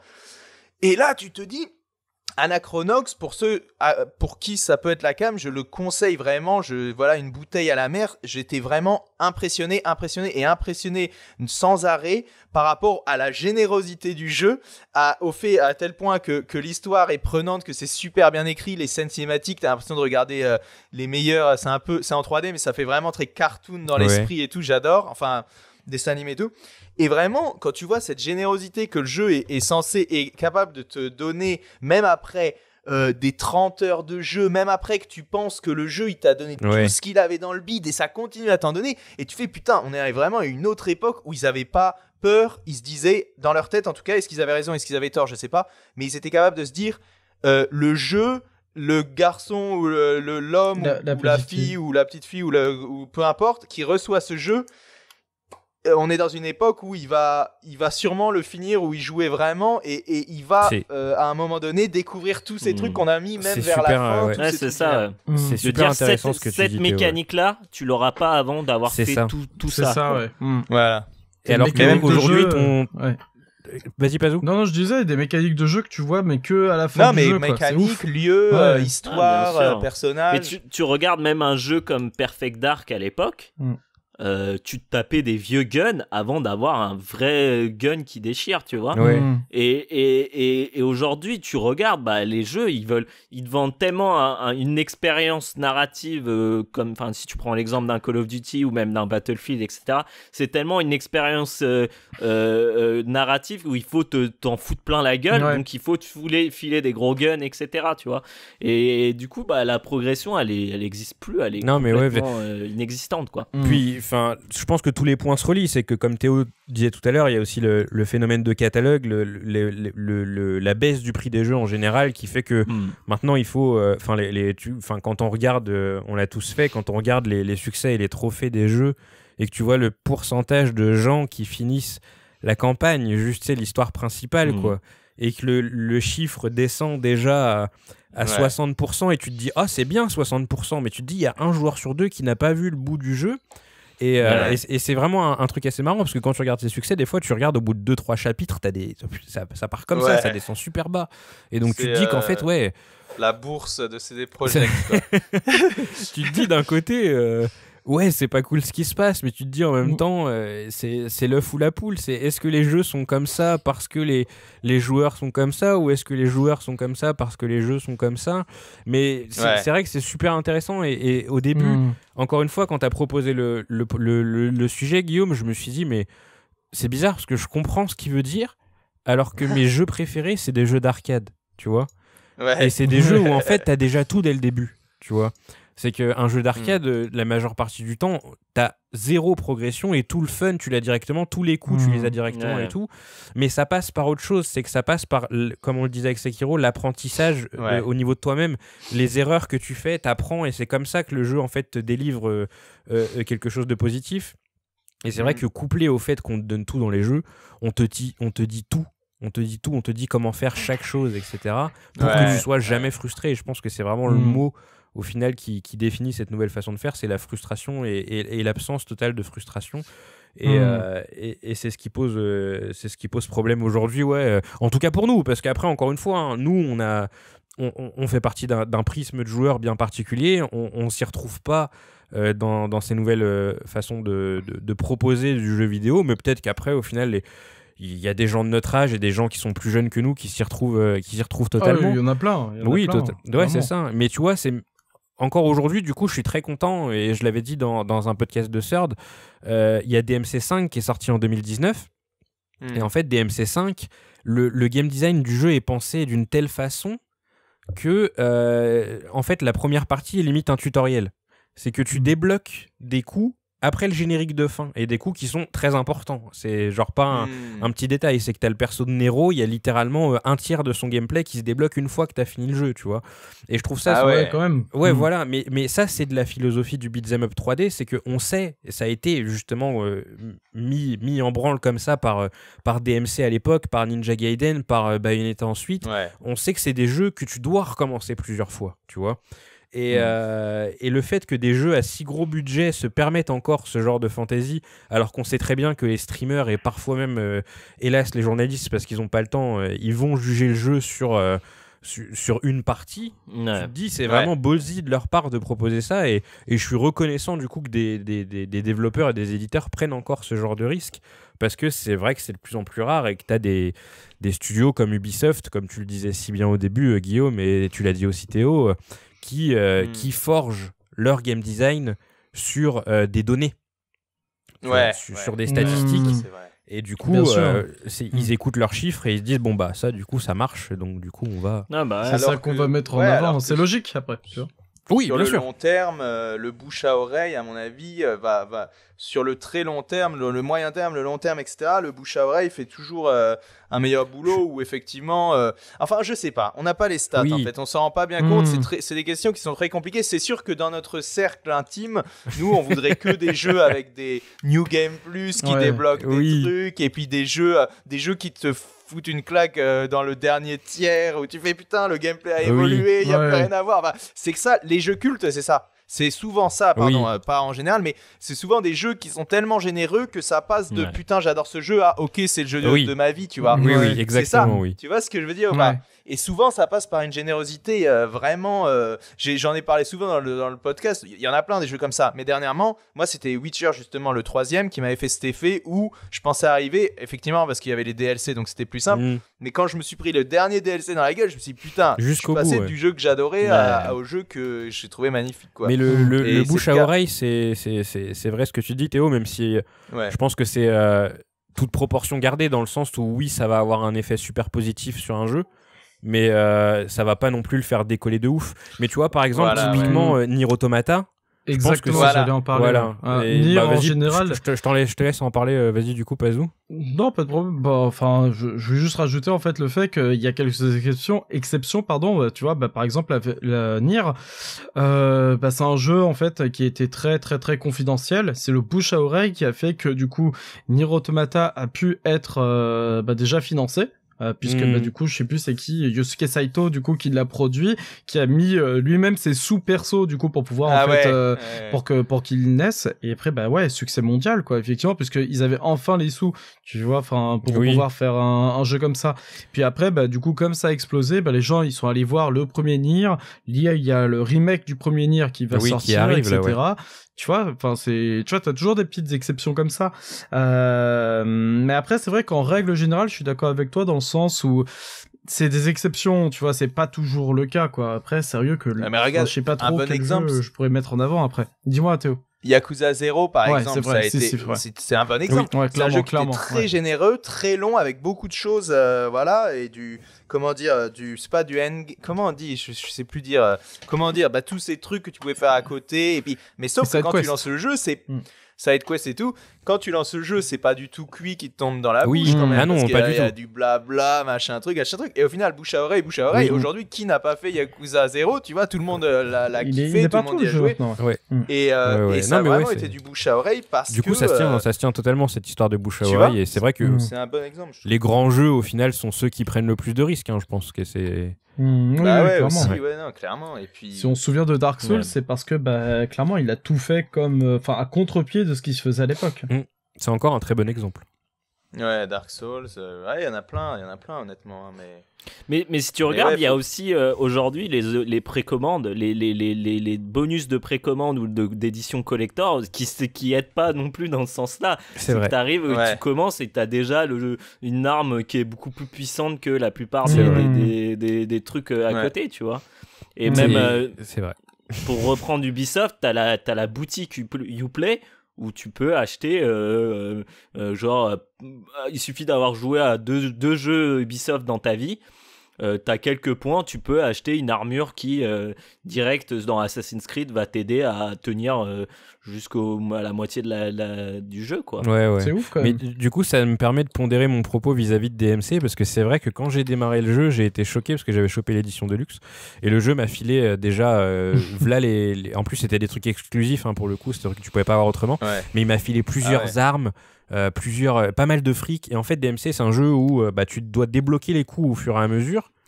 Tu vois, genre dans ta progression, naturellement, tu progresses, tu dis bon, bah je vais m'acheter un nouveau coup parce que j'ai tout saisi. Et là, je m'étais retrouvé sous un flow où en fait, le jeu, il m'avait filé trop d'argent, trop de trucs dès le ah début. Et j'étais là, genre, ouais, et j'ai mis v'là le temps avant de, de, de, digérer tout ce que j'avais gagné au début, hmm. alors que j'avais même pas commencé à jouer au jeu. Et d'ailleurs, bon, on connaît Capcom, hein, on sait comment ils sont. Ils proposent aussi sur le store, un peu comme tu le dis Guillaume avec euh, un peu de sous. Ouais. Ils proposent, euh, tu, avec de l'argent réel, tu peux agrandir ta barre de vie tu peux euh, oh. tu peux les petits cheat codes tu peux avoir les voilà c'est ça. Tu peux avoir les super on appelait ça on appelait des cheat codes maintenant il faut les acheter quoi c'est quand même et bah en fait là pareil c'est des trucs que tu peux débloquer dans le jeu mais si jamais t'as pas envie de te prendre la tête bah tu peux acheter du fric tu peux agrandir ta barre de vie direct tu peux avoir les super persos donc qui sont beaucoup plus forts et euh, bon, après, ce qui est bien, c'est que du coup, c'est quand même malgré tout proposé euh, à côté et tu peux totalement faire sans. Quoi. Donc, du coup, c'est un bon compromis, je trouve, malgré tout. Oui, c'est pas dans la méta même du jeu. Euh. Voilà. C'est ça. clairement, c'est, ça, reste, ça reste complètement à, à côté. Voilà, c'est ça. Donc tu peux, moi j'ai fait le jeu, bon je me suis tapé les bonus de préco parce que comme j'avais entre guillemets payé pour les mhm. avoir, bon je les ai mhm. pris. Mais tu peux pas les désactiver, les réactiver plus tard Alors parce qu'il y a des jeux qui te laissent faire ça aussi, Tu peux le faire sur euh, l'interface de la Xbox en tout cas. Ah, que tu peux, euh, genre, euh, parce que comme les bonus de préco, c'est des DLC qui sont téléchargés un par un, si tu veux, tu peux les, tu peux les cut, en fait. Hmm. ça, à la limite, tu peux le faire, ouais, c'est vrai, mais sur le coup, tu sais, j'avais rien intellectualisé, j'ai lancé le jeu, et là, je vois, vous avez débloqué ça, vous avez débloqué ça, vous avez débloqué ça. Ah oui, ouais. Ah ouais. Qu'est-ce que tu me dis? J'ai pas commencé ça, à Ça, c'est aussi, c'est aussi ce qui se passe quand tu récupères, des, par exemple, des director's cut hmm. qui sont justement avec tout DLC inclus. Et du coup, hmm. tu lances ton jeu et ça fait oh, vous avez gagné ça, vous avez gagné ça. Et ça, en fait, hmm. ça vient ouais, du fait que, que tu chopes une, ouais, une, une director's cut qui par essence a tout inclus dans euh, des DLC de merde que personne ne voulait, tu vois. Dans Oblivion que, que j'ai rejoué récemment, c'était pareil. C'est tu commences et on te dit oh il y a un mec, euh, tu sais t'es en prison au début d'Oblivion et il dit oh mais il y a un mec qui veut te voir, il est là-bas. Je fais ouais je suis même pas sorti de prison. et qui ce mec En fait c'est, en fait c'est ouais comment il me connaît. Et en fait c'est, c'est des, des, quêtes euh, de DLC que t'achetais en principe plus tard dans ta partie quand tu jouais normalement. Enfin bref. Eh ben, je crois qu'on a fait le tour du sujet. Merci Guillaume pour ce, ce passionnant sujet ça qui me nous fait a ça me fait par défaut passionné. Et on, a fait le tour, du coup, on est à, 2h30 de podcast, c'est pas mal, c'est honnête. C'est pas mal, hein, ouais. c'est le, le, la bonne durée, je pense. bah écoutez, merci, merci les gars pour ce podcast, c'était c'était vraiment cool. Euh, euh, qu'est-ce qui arrive là? Bah là, du coup, au moment où on enregistre cette, euh, ce podcast, bah, c'est le, le, le, nouvel épisode de Pour une poignée sort euh, en même temps. Donc Pour une poignée de rubis, disponible sur YouTube si vous l'avez raté.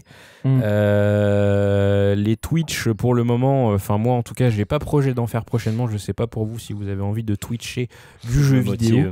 Ouais. Euh, moi, j'ai bien envie, mais je sais pas si ça va intéresser. Killer 7, hein, ça fait un moment que je vous en avais parlé. J'ai pas avancé franchement, euh, pas où, je te dis. Hmm. Euh, ce qui est bien avec les, ouais, ce qui est bien avec les streams en fait, c'est que les gens qui viennent, tu vois, même s'ils sont pas beaucoup, ils sont grave chauds, tu vois. Hmm. Et genre là, je jouais à DMC et tout machin le midi et, et Sekiro, on était genre dans le meilleur des cas, une petite dizaine, mais c'était des gens, ils, étaient contents d'être là, tu vois, ils étaient contents de voir du Sekiro, du DMC, hmm. donc du coup, c'est toujours bonne ambiance. Donc ouais, hein, si jamais euh, vous voulez pas rater de, Twitch Merogezu, si on vient en faire, euh, vous vous abonnez à la chaîne Twitch, et sinon, bah, vous vous abonnez au Twitter ou au Facebook, on fait les annonces aussi là-bas. Et, euh, et, voilà, on va, on va sûrement se retrouver très prochainement. Je sais que que Guillaume est déjà euh, dans les starting blocks pour un troisième épisode de Pour une poignée d'eux. Euh, oui.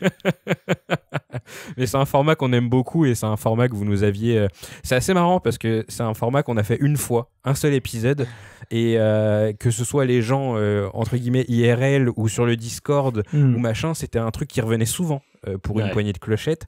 Donc du coup, on est content d'avoir hmm. pu enfin faire un deuxième épisode et bah écoutez, le troisième est dans les tuyaux, euh, puisque euh, Guillaume a déjà trouvé son jeu, il l'a déjà même fini.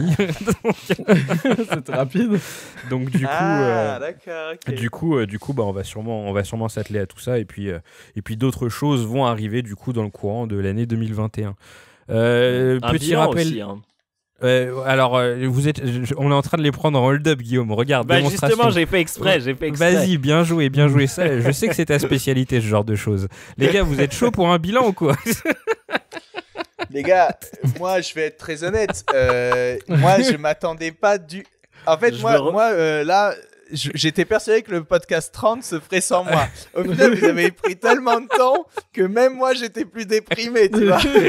Et au final, au final, euh, là, moi, euh, non, bien sûr, moi, je suis chaud pour tout. Mais après, vous connaissez, vous savez où me contacter. Vous me dites, allez, Théo, prends la caméra. Moi, ça va. Hein. Est-ce qu'on va revoir le selfie stick de Pazou? Moi, je veux revoir le selfie stick de Pazou euh, pour la, le, bilan. Pour le, pour le bilan 2020, Ah oui, le selfie stick, oui. Ah ouais, bon, se balader chez lui et parler en même temps de. ça la cool.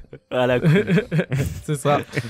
Ouais, voilà, bah donc, euh, donc ouais, des, des, des, choses à prévoir euh, chez Merugezu comme d'hab. Euh. on se fout pas la pression hein, maintenant, hein. on fait les choses quand on a envie de les faire et je pense que c'est la meilleure solution de bien faire parce que quand t'as pas envie de hmm. faire, bah c'est désagréable et puis tu t'appliques moins tout ça. Hmm. Moi maintenant, tu vois, on épice, on, fait les trucs quand on a envie de les faire. Inch'Allah, un jour il y aura du coup une nouvelle bibliothèque quand j'aurai envie de la faire. Voilà. C'était une belle façon d'amener le fait qu'il y a toujours pas de nouvelle bibliothèque. ça viendra, ça viendra. Bon, les amis, on va vous laisser. Petit rappel avant de partir. Hein, les stickers Mirugezu, ils sont gratos. Si jamais vous voulez des stickers, voilà, vous nous envoyez un message avec vos coordonnées. On vous envoie ça, il n'y a pas de souci. Comme ça, vous représenterez la merguez. Et euh, voilà, merci de nous avoir écoutés ou regardés. Parce que, euh, toujours pareil, un contenu hybride. Hein, nous sommes. Euh, les, pionniers du contenu hybride sur Internet, n'est-ce pas? Les, les, pionniers du, des, des, des, contenus à distance. oui, oui, c'est vrai ça. Clairement. Donc voilà. Nous, on était confinés depuis le ouais, début. exactement. c'est ça. Mais au Gizou, c'est un long confinement. Genre, euh, les contraintes que les entreprises découvrent et tout, nous, c'est euh, c'est notre quotidien. bon, écoutez, on va vous laisser. On va pas faire durer cette, euh, cette conclusion plus longtemps. prenez soin de vous. Bonne année 2021 si jamais on vous revoit pas d'ici là. Mm. Et, et suivez la merguez partout où c'est possible. Salut Salut, Salut Bisous. Bisous. Bye bye.